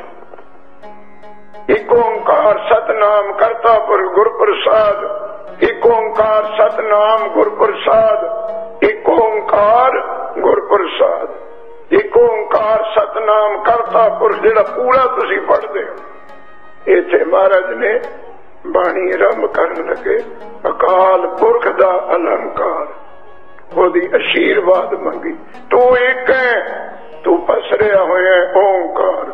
ਪ੍ਰਕਾਸ਼ ਹੈ ਪ੍ਰਕਾਸ਼ ਹੈ ਤੇਰੇ ਵਿੱਚ। ਤੂੰ ਸੱਚ ਹੈ, ਤੇਰੀ ਨਾਮ ਨਾਮ ਨਾ ਵਡਿਆਈ। ਕਹਿੰਦੇ ਨਹੀਂ ਇਹਦਾ ਨਾਮ ਬਹੁਤ ਉੱਚਾ ਹੈ। ਤੇਰੀ ਵਡਿਆਈ ਬਹੁਤ। ਤੂੰ ਨੇਰੇ ਵਿੱਚ ਚੱਲਣਾ ਕਰਨ ਦੇ ਗੁਰ ਗੋ ਨਾਮ ਅੰਧਕਾਰੇ ਰੂਪ ਪ੍ਰਕਾਸ਼ ਪ੍ਰਸਾਦ, ਤੂੰ ਸਦਾ ਹੀ ਆਨੰਦ ਚੇਤ ਹੈ। ਸਤਿਅਮ ਸਿਵਮੰ ਸੁੰਦਰਮ, ਸਤ ਸੁਹਾਣੇ ਸਦਾ ਮਨ ਚਾਓ ਹੁਣ ਆਓ, ਇਹ ਮਹਾਰਾਜ ਦੇ ਅੱਗੇ ਨਮਸਕਾਰ ਕਰਕੇ ਇਹ ਵਾਰ ਬੋਲੀ ਹੈ, ਉਹਨਾਂ ਨੇ, ਮੀਰਾਂ ਨੇ, ਗੁਰੂ ਗ੍ਰੰਥ ਸਾਹਿਬ ਵਿੱਚ ਦਰਜ ਕੀਤੀ ਹੈ, ਗੁਰੂ ਅਰਜਨ ਦੇਵ ਜੀ ਨੇ। ਪਿਆਰ ਨਾਲ ਸਰਵਣ ਕਰੀਏ। ਨਾਉ ਕਰਤਾ ਕਾਦਰ ਕਰੇ ਕਿਉ ਬੋਲ ਹੋਵੇ ਜੋ ਖੀਵਦਾ? ਹੁਣ ਇਹ ਜਿਹੜੀਆਂ ਤਿੰਨ ਪੌੜੀਆਂ ਨੇ ਨਾ ਪਹਿਲੀਆਂ ਇਸ ਵਾਰ ਦੀਆਂ ਅੱਠ ਪੌੜੀਆਂ ਨੇ ਇਹ ਵਿੱਚ ਸ਼ਲੋਕ ਕੋਈ ਨਹੀਂ। ਸਵੇਰੇ ਵੀ ਤੁਹਾਨੂੰ ਕਿਹਾ ਸੀ ਇਹ ਬਾਬੇ ਨਾਨਕ ਦੀ ਦੇਣ ਹੈ। ਗੁਰੂ ਨਾਨਕ ਦੀਆਂ ਵਾਰਾਂ ਤੋਂ ਬਿਨਾ ਕਿਸੇ ਵਾਰ ਵਿੱਚ ਸ਼ਲੋਕ ਨਹੀਂ ਵਰਲਡ ਲੈਵਲ ਦੀਆਂ ਵਾਰਾਂ ਪੜ੍ਹ ਲਿਓ। ਜੇ ਸ਼ਲੋਕਾਂ ਵਿੱਚ ਵਾਰ ਵਾਰ ਵਿੱਚ ਸ਼ਲੋਕ ਦਰਜ ਕੀਤੇ ਹੈ, ਤਾਂ ਕੇਵਲ ਗੁਰੂ ਨਾਨਕ ਨੇ ਕੀਤੇ। ਜਿੰਨੀਆਂ ਬਾਕੀ ਵਾਰਾਂ ਪੌੜੀਆਂ ਹੀ ਹੋਣੀਆਂ ਸਾਰੀਆਂ ਵਾਰਾਂ ਪੌੜੀਆਂ ਵਿੱਚੋਂ ਚਾਰੀਆਂ ਜਾਣੀਆਂ ਤੇ ਗੁਰੂ ਗ੍ਰੰਥ ਸਾਹਿਬ ਵਿੱਚ ਵੀ ਦੋ ਵਾਰਾਂ ਹਨ। ਇੱਕ ਬਸੰਤ ਕੀ ਵਾਰ ਮਹਿਲ ਪੰਜਵਾਂ, ਉਥੇ ਮਹੱਲਾ ਪਾਠ ਨਹੀਂ ਹੁਣ ਆਪਣੇ ਕੋਲ ਤੇ ਕੰਨਾ ਲਾਤਾ ਸੀ। ਬਸੰਤ ਕੀ ਵਾਰ ਮਹਿਲ ਪੰਜਵਾਂ, ਉਹਦੀਆਂ ਤਿੰਨ ਪੌੜੀਆਂ ਉਹਦੇ ਵਿੱਚ ਸ਼ਲੋਕ ਕੋਈ ਨਹੀਂ ਹੈ। ਇੱਕ ਰਾਮਕਲੀ ਦੀ ਵਾਰ, ਜਿਹੜੀ ਆਪਾਂ ਵਿਚਾਰ ਨਹੀਂ ਹੈ, ਇਹਦੇ ਵਿੱਚ ਅੱਠ ਪੌੜੀਆਂ ਹੀ ਪੌੜੀਆਂ, ਸ਼ਲੋਕ ਕੋਈ ਨਹੀਂ ਹੈ। ਪਹਿਲਾ ਵਾਰਾਂ ਵਿੱਚ ਪੌੜੀਆਂ ਹੀ ਹੁੰਦੀਆਂ ਸੀ, ਫਿਰ ਗੁਰੂ ਨਾਨਕ ਦੀ ਲਿਖਤ ਪੜੀ ਹੈ।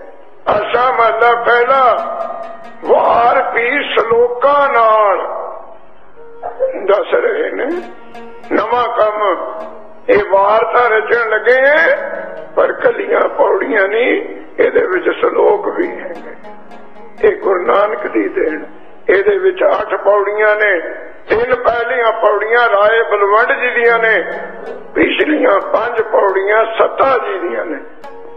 ਹੁਣ ਵਾਰ ਆਰੰਭ ਕਰਨ ਲੱਗੇ।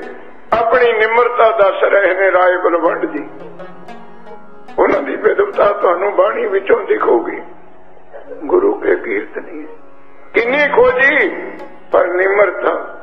हे ਗੁਰੂ ਨਾਨਕ ਦੇਵ, ਇਹ ਪੌੜੀ ਸ੍ਰੀ ਗੁਰੂ ਨਾਨਕ ਦੇਵ ਜੀ ਦੇ ਪ੍ਰਥਾਏ ਇਹ ਸਤਿਗੁਰੂ ਨਾਨਕ ਦੇਵ ਨੂੰ ਸੰਬੋਧਨ ਕਰਕੇ ਐ ਸੰਸਾਰ ਦੇ ਲੋਕੋ ਜਿਹਦਾ ਰੱਬ ਨੌ ਵੱਡਾ ਕਰ ਦਵੇ ਨਾ। ਨੌ ਕਰਤਾ ਕਾਦਰ ਕਰੇ। ਨੌ ਕਹੀਏ ਨਾਮ ਨਾ ਵਡਿਆਈ, ਜਿਹਨੂੰ ਰੱਬ ਵਡਿਆਈ ਦੇ ਦੇਵੇ, ਜਿਹਨੂੰ ਰੱਬ ਉੱਚਾ ਕਰ ਦੇਵੇ।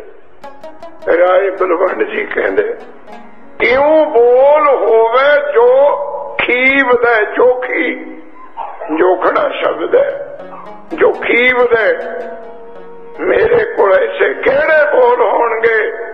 ਕਿਹੜੀ ਅਕਲ ਹੋਵੇਗੀ? ਕਿਹੜਾ ਵਿਆਕਰਣ ਹੋ? ਕਿਹੜਾ ਗ੍ਰਾਮਰ ਹੋਵੇਗਾ? ਕਿਹੜੀ ਭਾਸ਼ਾ ਹੋਊਗੀ? ਜਿਹਨੂੰ ਰੱਬ ਵੱਡਾ ਕਰ ਦੇਵੇ, ਜਿਹਨੂੰ ਰੱਬ ਵਡਿਆਈ ਦੇ ਦੇਵੇ, ਮੈਂ ਕਿਹੜੇ ਬੋਲਾਂ ਨਾਲ ਕਹਿ ਸਕੂੰਗਾ? ਅੱਜ ਕੇ ਆਖੋ ਸਤਨਾ ਕਿਉਂ ਬੋਲ ਹੋਵੇ? ਮੇਤੇ ਕੋਈ ਬੋਲ ਹੋਊਗਾ ਰੱਬ ਦੀ ਵਡਿਆਈ ਬੋਲੋਗੇ ਗੁਰੂ ਨਾਨਕ ਗੁਰੂ ਗੋਬਿੰਦ ਸਿੰਘ ਮੁਨਕਰ ਹੋ ਗਏ ਤੇਰੇ ਕਵਣ ਕਵਣ ਗੁਣ ਕਹਿ ਕਹਿ ਗਾਵਾਂ ਤੂੰ ਠਾਕਰ ਊਚ ਭਗਵਾਨ ਤੁਮਰੀ ਮਹਿਮਾ ਬਰ ਨ ਸਕੋ ਜਦ ਉਹੀ ਮੁਨਕਰ ਹੋ ਗਏ ਬੰਦਾ ਕੀ ਕਹੂਗਾ ਏਕ ਜੀ ਗੁਣ ਕਵਣ ਵਖਾਨਾ ਸਹਿ ਸਫਨੀ ਸੇਖ ਅੰਤ ਨਾ ਜਾਣੇ। ਤੁਕਦਾਰ ਤੋਂ ਸਮਝਿਓ। ਗੁਰੂ ਨਾਨਕ ਦੀ ਵਡਿਆਈ ਪਰਮੇਸ਼ਰ ਨੇ ਵੱਡੀ ਕਰਤੀ। ਰੱਬ ਨੇ ਹੀ ਸੱਚਖੰਡ ਕਹਿ ਦਿੱਤਾ ਉਹਨੂੰ, ਨਾਨਕ, ਜੋ ਮੇਰਾ ਸੋ ਤੇਰਾ, ਜੋ ਤੇਰਾ ਸੋ ਮੇਰਾ। ਇੱਥੇ ਤੱਕ ਕਹਿ ਦਿੱਤਾ, ਮੇਰਾ ਹੀ ਰੂਪ। ਰਾਏ ਬਲਵੰਡ ਜੀ ਕਹਿੰਦੇ ਜਿਸ ਨੇ ਜਿਸ ਨੂੰ ਅਕਾਲ ਪੁਰਖ ਨੇ ਇੰਨੀ ਵਡਿਆਈ ਦੇ ਦਿੱਤੀ, ਨੌ ਕਰਤਾ, ਕਾਦਰ ਕਰੇ ਨਾਮਣਾ ਵਡਿਆਈ, ਜਿਹਦਾ ਨੌ ਰੱਬ ਵੱਡਾ ਕਰ ਦਵੇ। ਰਾਏ ਬਲਵਣ ਜੀ ਕਹਿੰਦੇ, ਕੋਈ ਸ਼ਬਦ ਨਹੀਂ ਲੱਭਣੇ, ਉਹਦੀ ਵਡਿਆਈ ਤੋਲਣ ਖਾਤਰ। ਕਾਹਦੇ ਚ ਮਾਪੋਗੇ ਕਿਹੜੇ ਸ਼ਬਦ ਤਖੜੀ ਚ ਪਾਓਗੇ? ਕਿ ਉਹਦੀ ਵਡਿਆਈ ਨੂੰ ਮਾਪ ਦੋ, ਨਹੀਂ ਮਾਪੀ ਜਾਣੀ। ਅੰਤ ਨਾ ਸਿਫਤੀ ਕਹਿਣ ਨਾ ਅੰਤ। ਅੰਤ ਨਾ ਕਰਨੇ। ਮਿਕ ਫਸ ਗਿਆ ਵਿਚਾਰਾ ਸ਼ੀਸ਼ ਨਾਗ। ਫਸ ਗਿਆ ਕਹਿੰਦਾ ਮੈਂ ਪੰਜਾਬੀ ਚ। ਜਿੱਦਣ ਸ੍ਰਿਸ਼ਟੀ ਸਾਜੀ ਨਾ ਵਾਹਿਗੁਰੂ ਨੇ, ਇਹ ਤਿੰਨ ਦੇਵਤੇ ਬਣਾਤੇ ਐਡਮਿਨਿਸਟ੍ਰੇਟਿਵ ਪ੍ਰਬੰਧਕ ਆਫੀਸਰ ਪ੍ਰਬੰਧ ਚਲਾਉਣਾ ਸੀ। ਬ੍ਰਹਮਾ ਨੂੰ ਕਹਿੰਦੇ, ਤੂੰ ਪੈਦਾ ਕਰੀ ਜਾ। ਵਿਸ਼ਨੂੰ ਨੂੰ ਕਹਿੰਦੇ, ਰੋਟੀ ਦੇਈ ਜਾ। ਸ਼ਿਵ ਜੀ ਨੂੰ ਕਹਿੰਦੇ, ਤੂੰ ਬਈ ਜਗ੍ਹਾ ਖਾਲੀ ਕਰੀ ਜਾਈ, ਕਿਸੇ ਹੋਰ ਨੇ ਵੀ ਆਉਣਾ ਹੈ, ਅੱਜ ਖੇ ਕੋ ਸਤਨਾਮ। ਜੇ ਸਟੇਸ਼ਨ ਤੋਂ ਗੱਡੀਆਂ ਤੁਰਨੇ ਨਾ, ਤਾਂ ਆਉਣਗੀਆਂ ਕਿੱਥੋਂ ਪੁੱਛੋ? ਇਹ ਸਰੀਰ ਰੂਪੀ ਗੱਡੀਆਂ ਤੁਰੀ ਜਾਣੀਆਂ ਤੇ ਤਾਂ ਹੀ ਨਵੀਆਂ ਹੋਣੀਆਂ ਨਾਲੇ ਹੁਣ ਤਾਂ ਤੁਸੀਂ ਪੜ੍ਹੇ ਲਿਖੇ ਇੰਗਲੈਂਡ ਦੇ ਬੈਠੇ ਹੋ। ਪ੍ਰੋਬਲਮ ਹੈ ਜਨ ਸੰਖਿਆ ਦੀ ਹੋ ਗਈ, ਅੱਜ ਕੇ ਅਫੋ ਸਤਨਾਮ। ਹੁਣ ਤਾਂ ਜਨ ਸੰਖਿਆ ਦੀ ਵੱਧ ਹੋ ਗਈ। ਇਹ ਕਰਮ ਤੇ ਤਾਂ ਇੰਡੀਆ ਹੀ ਪੁੱਜ ਗਿਆ ਆਪਣਾ ਸੁਖ ਨਾਲ। ਤੇ ਸ਼ਿਵ ਜੀ ਭਗਵਾਨ ਨੂੰ ਹੁਕਮ ਹੈ, ਤੂੰ ਬਸ ਸਟੈਂਡ ਖਾਲੀ ਕਰੀ ਜਾਈ, ਤਾਂ ਹੀ ਨਵੀਆਂ ਆਉਣਗੀਆਂ। ਤਿੰਨਾਂ ਨੂੰ ਡਿਊਟੀਆਂ ਦਿੱਤੀਆਂ। ਸ਼ਿਵ ਜੀ ਦੀ ਸ਼ਿਵਪੁਰੀ ਬਣਾਤੀ। ਪ੍ਰੇਮਪੁਰੀ ਬਣਾਤੀ। ਵਿਸ਼ਨੂੰ ਕਹਿੰਦਾ, ਮੈਂ ਨਹੀਂ ਜਾਣਾ। ਭਗਵਾਨ ਕਹਿੰਦੇ ਕਿਉਂ? ਕਹਿੰਦਾ ਰੱਬਾ ਕਾਲ ਪੁਰਖ, ਨਾ ਤਾਂ ਸ਼ਿਵ ਜੀ ਦੀ ਪੁਰੀ ਚ ਕਿਸੇ ਨੇ ਜਾਣੇ। ਨਾ ਬ੍ਰਹਮਪੁਰੀ ਚ ਜਾਣੇ। ਉਹਨੇ ਪੈਦਾ ਕਰਨੇ, ਉਹਨੇ ਮਾਰਨੇ। ਔਖਾ ਕੰਮ ਮੈਨੂੰ ਦਿੱਤਾ ਤੇ। ਮੈਨੂੰ ਦੱਸੇ ਆ ਭੰਡਾਰੇ, ਡਾਕਾ ਮੇਰੀ ਪੁਰੀ ਚ ਪੈਣਾ ਹੈ ਅਜ ਕੋ ਸਤਨਾਮ। ਜਿੱਥੇ ਖਜ਼ਾਨਾ ਪਿਆ ਹੋਵੇ ਲੁੱਟ ਮਾਰ ਉੱਥੇ ਹੁੰਦੀ ਹੈ ਮੇਰੀ ਪੁਰੀ ਉੱਥੇ ਬਣਾ, ਜਿੱਥੇ ਕੋਈ ਜਾ ਨਾ ਸਕੇ। ਜਿੱਥੇ ਪਈ ਹੁੰਦੀ ਹੈ, ਉੱਥੇ ਖੜਕਾ ਤੜਕਾ ਹੁੰਦਾ ਉਹ ਪੰਜਾਬੀ ਬੈਠੇ ਹੋ, ਜਿਹਦੇ ਦਾਣੇ ਨਹੀਂ ਹੁੰਦੇ, ਉੱਥੇ ਤਾਂ ਚੂਹੇ ਵੀ ਨਹੀਂ ਜਾਂਦੇ। ਯਾਦ ਹੋਣਾ ਪੰਜਾਬੀ ਤੁਹਾਨੂੰ? ਚੂਹੇ ਵੀ ਉਹਨਾਂ ਘਰਾਂ ਚ ਹੁੰਦੇ ਜਿੱਥੇ ਦਾਣੇ ਹੈਗੇ। ਵਿਸ਼ਨੂੰ ਕਹਿੰਦਾ, ਇਹ ਲੁੱਟ ਮਾਰ ਕਰਨ ਵਾਲੇ ਬਹੁਤ ਹੈ। ਮੇਰੀ ਪੂਰੀ ਉੱਥੇ ਬਣਾ, ਜਿੱਥੇ ਕੋਈ ਜਾ ਨਾ ਸਕੇ। ਕਹਿੰਦੇ ਕਿਤੇ ਬਣਾਵਾ? ਪਤਾਲ ਦੇ ਵਿੱਚ, ਸਮੁੰਦਰ ਦੇ ਹੇਠ। ਨਾਰਾਇਣ ਨਾਰ ਕਹੀਏ ਪਾਣੀ, ਐਨ ਕਹੀਏ ਘਰ। ਨਾਰ ਕਹੀਏ ਮਾਇਆ, ਐਨ ਕਹੀਏ ਘਰ। ਪਤਾਲ ਦੇ ਵਿੱਚ ਹੈ ਵਿਸ਼ਨੂਪੁਰੀ। ਕਹਿੰਦਾ ਜੀ, ਮੈਂ ਬੈਠੂਗਾ ਖਾਦੇ ਉੱਤੇ ਉੱਤੇ ਕੋਲ ਬੈਠਾ ਸੀ ਸ਼ੇਸ਼ਨਾਗ ਉਹ ਕਹਿੰਦਾ, ਇਹ ਸੇਵਾ ਕਹਿੰਦਾ ਮੈਨੂੰ ਦੇ ਦਿਓ। ਜਿਵੇਂ ਤੁਸੀਂ ਕਈ ਵਾਰ ਪੁੱਛ ਲੈਨੇ ਹੋ, ਬਾਬਾ ਜੀ ਕੋਈ ਸੇਵਾ ਬਖਸ਼ੋ। ਜੇ ਕਹਾ ਤੇ ਬਾਬਾ ਪਾਣੀ ਦਾ ਗਲਾਸ ਮੰਗ ਲਵੇ ਨਾ, ਉੱਥੇ ਖੜਾ ਸਿੱਖ ਦੂਏ ਨੂੰ ਹਾਕ ਮਾਰੂਗਾ, ਉਹ ਲਿਆਈ ਪਾਣੀ ਪਲਾਉਣਾ ਬਾਬੇ ਨੂੰ ਟ੍ਰਾਂਸਫਰ ਕਰ ਦਿੰਦਾ ਜਦੇ ਆਡਾ ਗਾਹਾਂ ਦਾ ਦੂਆ ਪਤਾ ਨਹੀਂ ਤੀਏ ਨੂੰ ਟ੍ਰਾਂਸਫਰ ਕਰ ਦੇਵੇ। ਇੰਨੇ ਨੂੰ ਪੀਣ ਵਾਲਾ ਗਿਆ ਆਇਆ। ਜਿਹਨੇ ਨੂੰ ਗਲਾਸ ਆਉਣਾ, ਉਹਨੇ ਉੱਥੇ ਰਹਿਣਾ ਹੀ ਨਹੀਂ। ਇਹ ਸਾਡੀ ਸੇਵਾ ਹੈ। ਗੁਰ ਪੀਰਾ ਕੀ ਚਾਕਰੀ, ਮੋਹ ਕਰੜੀ ਸੁਖ ਔਖੀ ਕਹਿਣੀ ਉਸਕ ਸ਼ੇਸ਼ਨਾ ਕਹਿੰਦਾ, ਇਹ ਵਿਸ਼ਨੂੰ ਦੇ ਬੈਠਣ ਦੀ ਸੇਵਾ ਮੈਂ ਕਰੂੰਗਾ। ਹੁਣ ਸ਼ੇਸ਼ਨਾਗ ਦੀ ਸੇਜਾ ਦੇ ਉੱਤੇ ਵਿਸ਼ਨੂੰ ਬੈਠੇ ਹੈ ਪਤਾਲ ਵਿੱਚ। ਇਹ ਗੁਰੂ ਗ੍ਰੰਥ ਸਾਹਿਬ ਮੰਨ ਰਹੇ ਹੈ ਮੈਂ ਨਹੀਂ ਕਹਿ ਰਿਹਾ। ਬੈਠੇ। ਕਹਿੰਦੇ, ਤੂੰ ਕਰ ਲੈ। ਇੰਗਲੈਂਡ 'ਚ ਵੀ ਕਪੜਾ ਬਣਦਾ ਹੋਣਾ।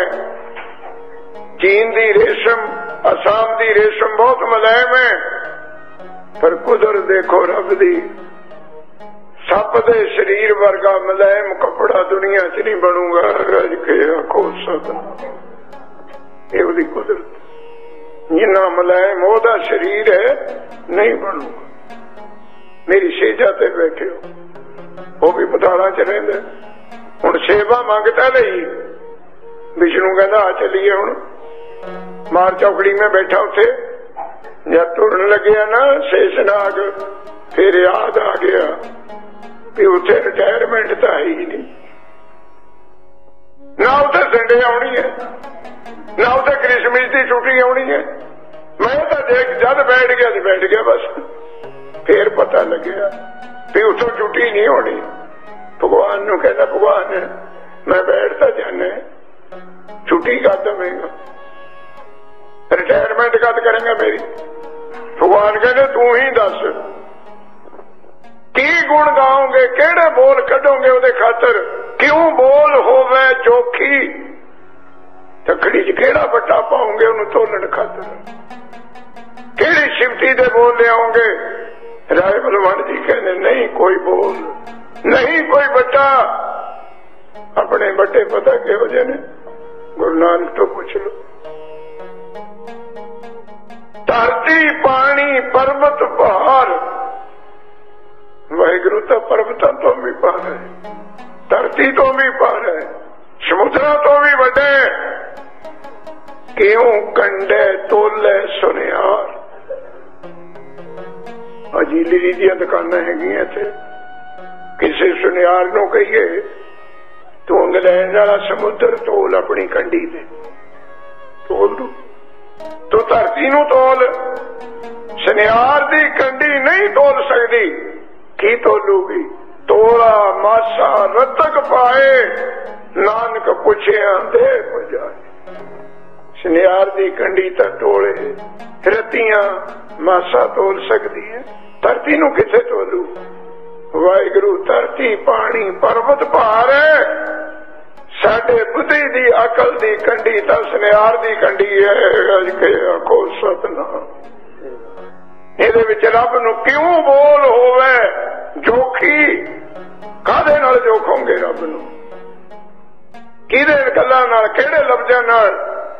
ਉਹ ਕਹਿੰਦਾ ਜੀ, ਮੈਂ ਤੇਰਾ ਨਾਮ ਜਪੂੰਗਾ ਉੱਥੇ। ਤੇਰੇ ਗੁਣ ਗਾਉਂ ਸ਼ੇਸ਼ਨਾ ਕਹਿੰਦਾ ਤੇ ਜਿੱਦਣ ਤੇਰੇ ਗੁਣ ਪੂਰੇ ਹੋ ਗਏ ਨਾ, ਉਦਣੇ ਮੈਨੂੰ ਰਿਟਾਇਰ ਕਰ ਦੇ। ਤੇ ਗਾਉਂਗਾ ਵੀ ਪਤਾ ਕਿਵੇਂ? ਜਿਹੜਾ ਅੱਜ ਨਾਮ ਲੈ ਲਿਆ ਕੱਲ ਨੂੰ ਨਹੀਂ ਲੈਣਾ। ਨਵ ਤਨ ਨਾਮ, ਨਿਤ ਨਵਾਂ ਨਾਮ। ਅੱਜ ਰਾਮ ਕੇ ਹੈ ਕੱਲ ਨੂੰ ਹਰ ਕੱਲ ਨੂੰ ਹਰ ਕੇ ਹੈ ਪਰਸੋਂ ਨੂੰ ਨਰੈਣ। ਚੌਥੇ ਨੂੰ ਅੱਲਾ, ਛੇਵੇਂ ਸਤਵੇਂ ਨੂੰ ਵਿਸ਼ਨੂੰ। ਨਿਤ ਨਵਾਂ ਨਾਮ ਮਾਰੂ ਰਾਗ ਪੜੋ ਹੁਣ। ਰਾਏ ਬਲਵੰਡ ਜੀ ਕਹਿੰਦੇ, ਕਿਹੜੇ ਬੋਲ ਲਿਆ ਮਾ ਤੈਨੂੰ ਤੋਲਣ ਖਾਤਰ? ਕਿਹੜਾ ਵੱਡਾ ਪਾਵਾਂ ਤੇਰੀ ਉਮਾ ਕਰਨ ਖਾਤਰ? ਤੇਰਾ ਨਾਂ ਰੱਬ ਨੇ ਵੱਡਾ ਕਰ ਦਿੱਤਾ। ਤੈਨੂੰ ਵਡਿਆਈ ਰੱਬ ਨੇ ਦਿੱਤੀ ਹੈ ਮੈਂ ਕਿਹੜੇ ਬੋਲਾਂ ਨਾਲ ਤੇਰੀ ਵਡਿਆਈ ਕਰਾਂ? ਕਿਉਂ ਬੋਲ ਹੋਵੇ ਜੋ ਖੀਵ ਦੇ? ਕਾਦੇ ਨਾਲ ਜੋਖਾ?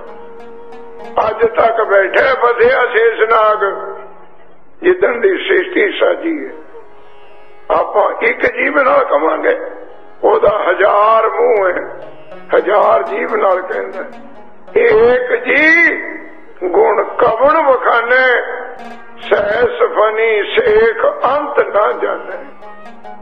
ਅੱਜ ਤੱਕ ਕਰ ਕੀ ਰਿਹਾ ਨਵਤਨ ਨਾਮ ਜਪੈ ਦਿਨ ਰਾਤੀ।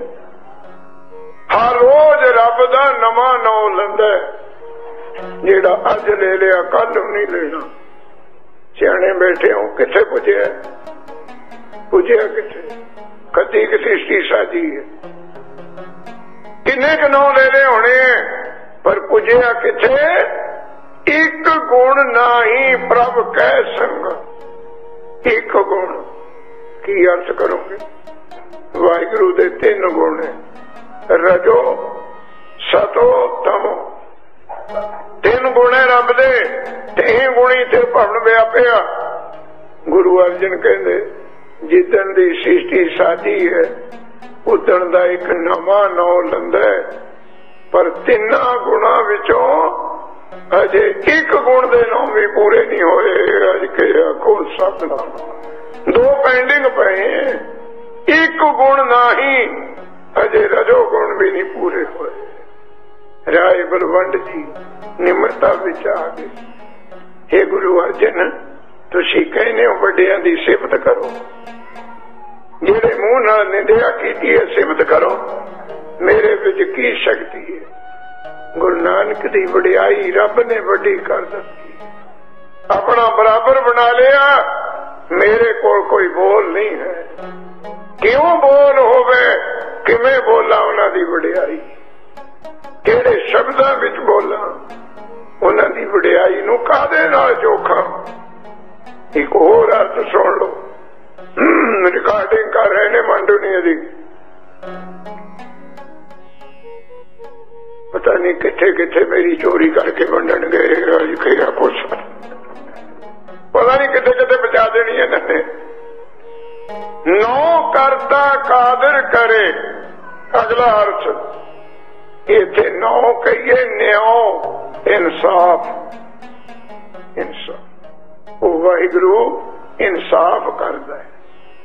ਉਥੇ ਸੱਚੇ ਹੀ ਸੱਚ ਨਿਬੜ ਸੱਚੇ ਪਾਠ ਹੈ, ਸੱਚੋ ਸੱਚ ਨਹੀਂ, ਉਥੇ ਸੱਚੇ ਹੀ ਸੱਚ ਨਿਬੜ ਕੀ ਅਰਥ ਹੋਵੇ ਅਗਲੀ ਦਰਗਾਹ ਵਿੱਚ ਜੱਜ ਸੱਚੇ ਨੇ। ਉੱਥੇ ਸੱਚੇ ਮੈਜਿਸਟ੍ਰੇਟ ਸੱਚੇ ਨੇ। ਜਿੱਥੇ ਜੱਜ ਸੱਚਾ ਹੋਊਗਾ, ਇਨਸਾਫ ਵੀ ਸੱਚਾ ਹੋਵੇਗਾ ਅੱਜ ਕੇ ਆਖੋ ਸਤਨਾਮ ਉੱਥੇ ਸੱਚੇ ਹੀ ਸੱਚ ਨਿਬੜ ਜੱਜ ਸੱਚੇ ਨੇ, ਫੈਸਲਾ ਸੱਚਾ। ਨੌ ਕਰਤਾ, ਅਕਾਲ ਪੁਰਖ ਨਿਉ ਕਰਦਾ ਤੇਰੇ ਘਰ ਸਦਾ ਸਦਾ ਹੈ ਨਿਉ। ਗੁਰੂ ਨਾਨਕ ਕਹਿੰਦੇ ਹਰ ਕੀ ਵਡਿਆਈ ਵੱਡੀ ਹੈ, ਜਾਂ ਕੀਰਤਨ ਹਰ ਕਾ।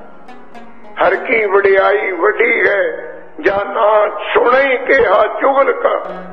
ਹਰ ਕੀ ਵਡਿਆਈ ਵੱਡੀ ਹੈ ਆ ਪੁੱਛਿਆ ਦਾਨ ਦੇਵ ਕਾ। ਹਰ ਕੀ ਵਡਿਆਈ ਵੱਡੀ ਹੈ, ਜਾਂ ਨਿਉ ਹੈ ਧਰਮ ਕਾ।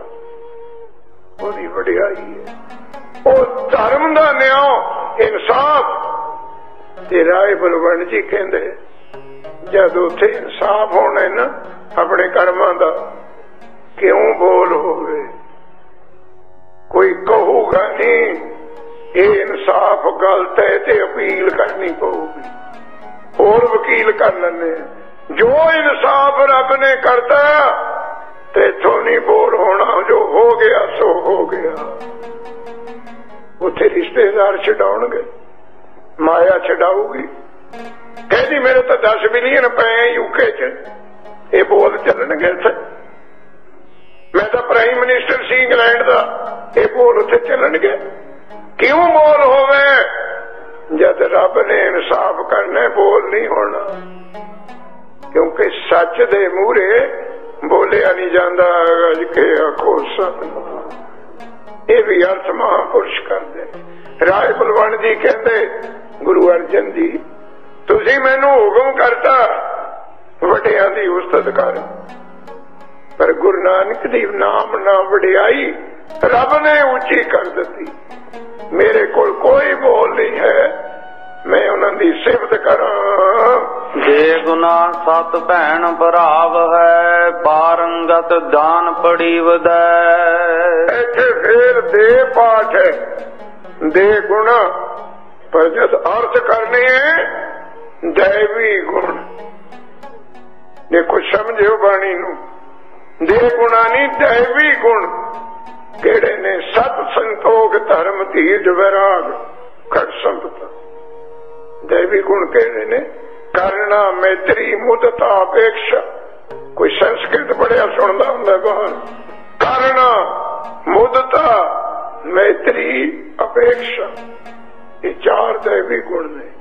ਰਾਏ ਬਲਵੰਡ ਜੀ ਕਹਿੰਦੇ, ਗੁਰੂ ਅਰਜਨ ਦੇਵ, ਤੁਸੀਂ ਮੈਨੂੰ ਕਹਿੰਦੇ ਹੋ ਗੁਰੂ ਨਾਨਕ ਦੀ ਸਿਫਤ ਕਰ। ਮੇਰੇ ਕੋਲ ਬੋਲ ਨਹੀਂ ਹੈ। ਪਾਰੰਗਤ ਧਾਨ ਪੜੀ ਵਧੇ। ਇਹਨੂੰ ਸਮਝਿਓ। ਪਾਰੰਗਤ ਇਹ ਸੰਸਾਰ ਤੋਂ ਪਾਰ ਲੰਘਣਾ ਪਾਰਗਤ ਗਤ ਹੁੰਦਾ ਚਾਲ, ਚੱਲਣਾ, ਲੰਘ ਜਾਣਾ। ਪੜੀ ਪ੍ਰੋਸੀਜਰ ਸਾਧਨ, ਜਰੀਆ। ਕਿਸੇ ਜਰੀਏ ਨਾਲੇ ਲੰਘਦੇ ਹਨ, ਭਾਸ਼ਾ ਸਮਝਿਓ। ਇਹ ਗੁਰੂ ਅਰਜਨ ਦੇਵ, ਸ੍ਰੀ ਗੁਰੂ ਨਾਨਕ ਦੇਵ ਕਹੇ ਦੇ ਹਨ, ਜਿਨ੍ਹਾਂ ਸ਼ੁਭ ਗੁਣਾਂ ਦੇ ਨਾਲ ਦੁਨੀਆ ਪਾਪ ਸਾਗਰ ਨੂੰ ਲੰਘਦੀ ਹੈ। ਤੇ ਗੁਣਾ ਭੈਣ ਭਰਾਵ ਹੈ, ਪਾਰੰਗਤ ਦਾਨ। ਜਿਸ ਬਖਸ਼ਿਸ਼ ਦੇ ਨਾਲ, ਸਾਧਨ ਦੇ ਨਾਲ ਦੁਨੀਆ ਸਮੁੰਦਰ ਤੋਂ ਪਾਰ ਹੁੰਦੀ ਹੈ ਨਾ, ਚੰਗੇ ਗੁਣੇ ਲੰਘਾਉਣੇ ਉਹ ਗੁਰੂ ਨਾਨਕ ਦੇ ਭੈਣ ਭਰਾ ਨੇ ਅੱਜ ਕੇ ਆਖੋ ਸਤਨਾਮ। ਦੇਖੋ ਕਿੰਨੀ ਵਡਿਆਈ। ਜਿਹੜੇ ਚੰਗੇ ਗੁਣ ਸੰਸਾਰ ਤੋਂ ਪਾਰ ਕਰਨ ਵਾਸਤੇ ਦਾਨ, ਬਖਸ਼ਿਸ਼ ਮੰਗਦੇ ਆਪਾਂ। ਸ਼ੁਭ ਗੁਣ ਦੇ, ਚੰਗੇ ਕਰਮ ਦੇ ਸਨ ਲੰਘ ਜੀਏ ਉਹ ਤਾਂ ਗੁਰੂ ਨਾਨਕ ਦੇ ਭੈਣ ਭਾਈ ਕੋਲ ਹੀ ਰਹੇ ਨੇ ਇਹਦੇ। ਭੈਣ ਭਰਾ, ਤੁਸੀਂ ਇਥੋਂ ਕੀ ਲੈਣਾ ਅਰਥ ਕਰੋ ਜੋ ਮਰਜ਼ੀ, ਕਮਾਈ ਕਰੋ। ਇੰਜੀਨੀਅਰ ਬਣੋ, ਡਾਕਟਰ ਬਣੋ, ਲਾਇਰ ਬਣੋ। ਸ਼ੰਤ ਵੀ ਬਣੇ, ਫਿਰ ਉਹ ਕੋਈ ਗੱਲ ਨਹੀਂ। ਗਿਆਨੀ ਬਣੇ? ਇਹਨਾਂ ਕਿਸੇ ਚੀਜ਼ ਨੇ ਗਾਹ ਨਹੀਂ ਜਾਣਾ।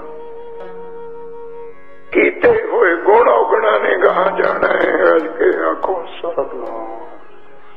ਭੈਣ ਭਰਾ ਹੁੰਦੇ ਨੇ, ਔਖੇ ਸਮੇਂ ਕੋਲ ਖੜ ਭੈਣ ਭਰਾ ਦਾ ਹੀ ਮਤਲਬ ਜਦ ਔਖਾ ਸਮਾਂ ਪੈਣਾ ਇਹੀ ਭੈਣ ਭਰਾ ਨੇ ਉੱਥੇ। ਇੱਥੇ ਵਾਲੇ ਨੇ ਨਾਲ ਨਹੀਂ ਜਾਣਾ। ਇੱਥੇ ਆਏ ਤਾਂ ਬਸ ਫਿਊਨਲ ਤੱਕੇ ਜਾਣੇ ਆ, ਅੱਜ ਕੇ ਆਖੋ ਸਤ ਕੋਈ ਜਾਊਗਾ? ਨਾ ਨਾ। ਬਸ ਸੰਸਕਾਰ ਤੱਕ। ਗੁੱਸੇ न ਕਰਿਓ, ਮੈਂ ਵੀ ਤਾਂ ਇਹ ਜਈ ਹੈ ਸੰਸਕਾਰ ਤੱਕ ਵੀ ਵਧੇ ਹੁੰਦੇ ਜਾਂਦੇ ਕੀ ਕਹਿਣਗੇ ਦੇ ਨਾਲ ਨਹੀਂ ਗਏ? ਬਾਣੀ 'ਚ ਸੁਣਿਆ, ਕੀ ਲਿਖਿਆ ਇਹਨਾਂ ਰਿਸ਼ਤੇਦਾਰਾਂ ਨੂੰ? ਭੈਣ ਭਰਾ, ਘਰ ਵਾਲੀ, ਪੁੱਤ ਧੀ। ਵਿਛੜ ਗਿਆ ਬਾਪੂ, ਚਾਚਾ ਭਾਈ।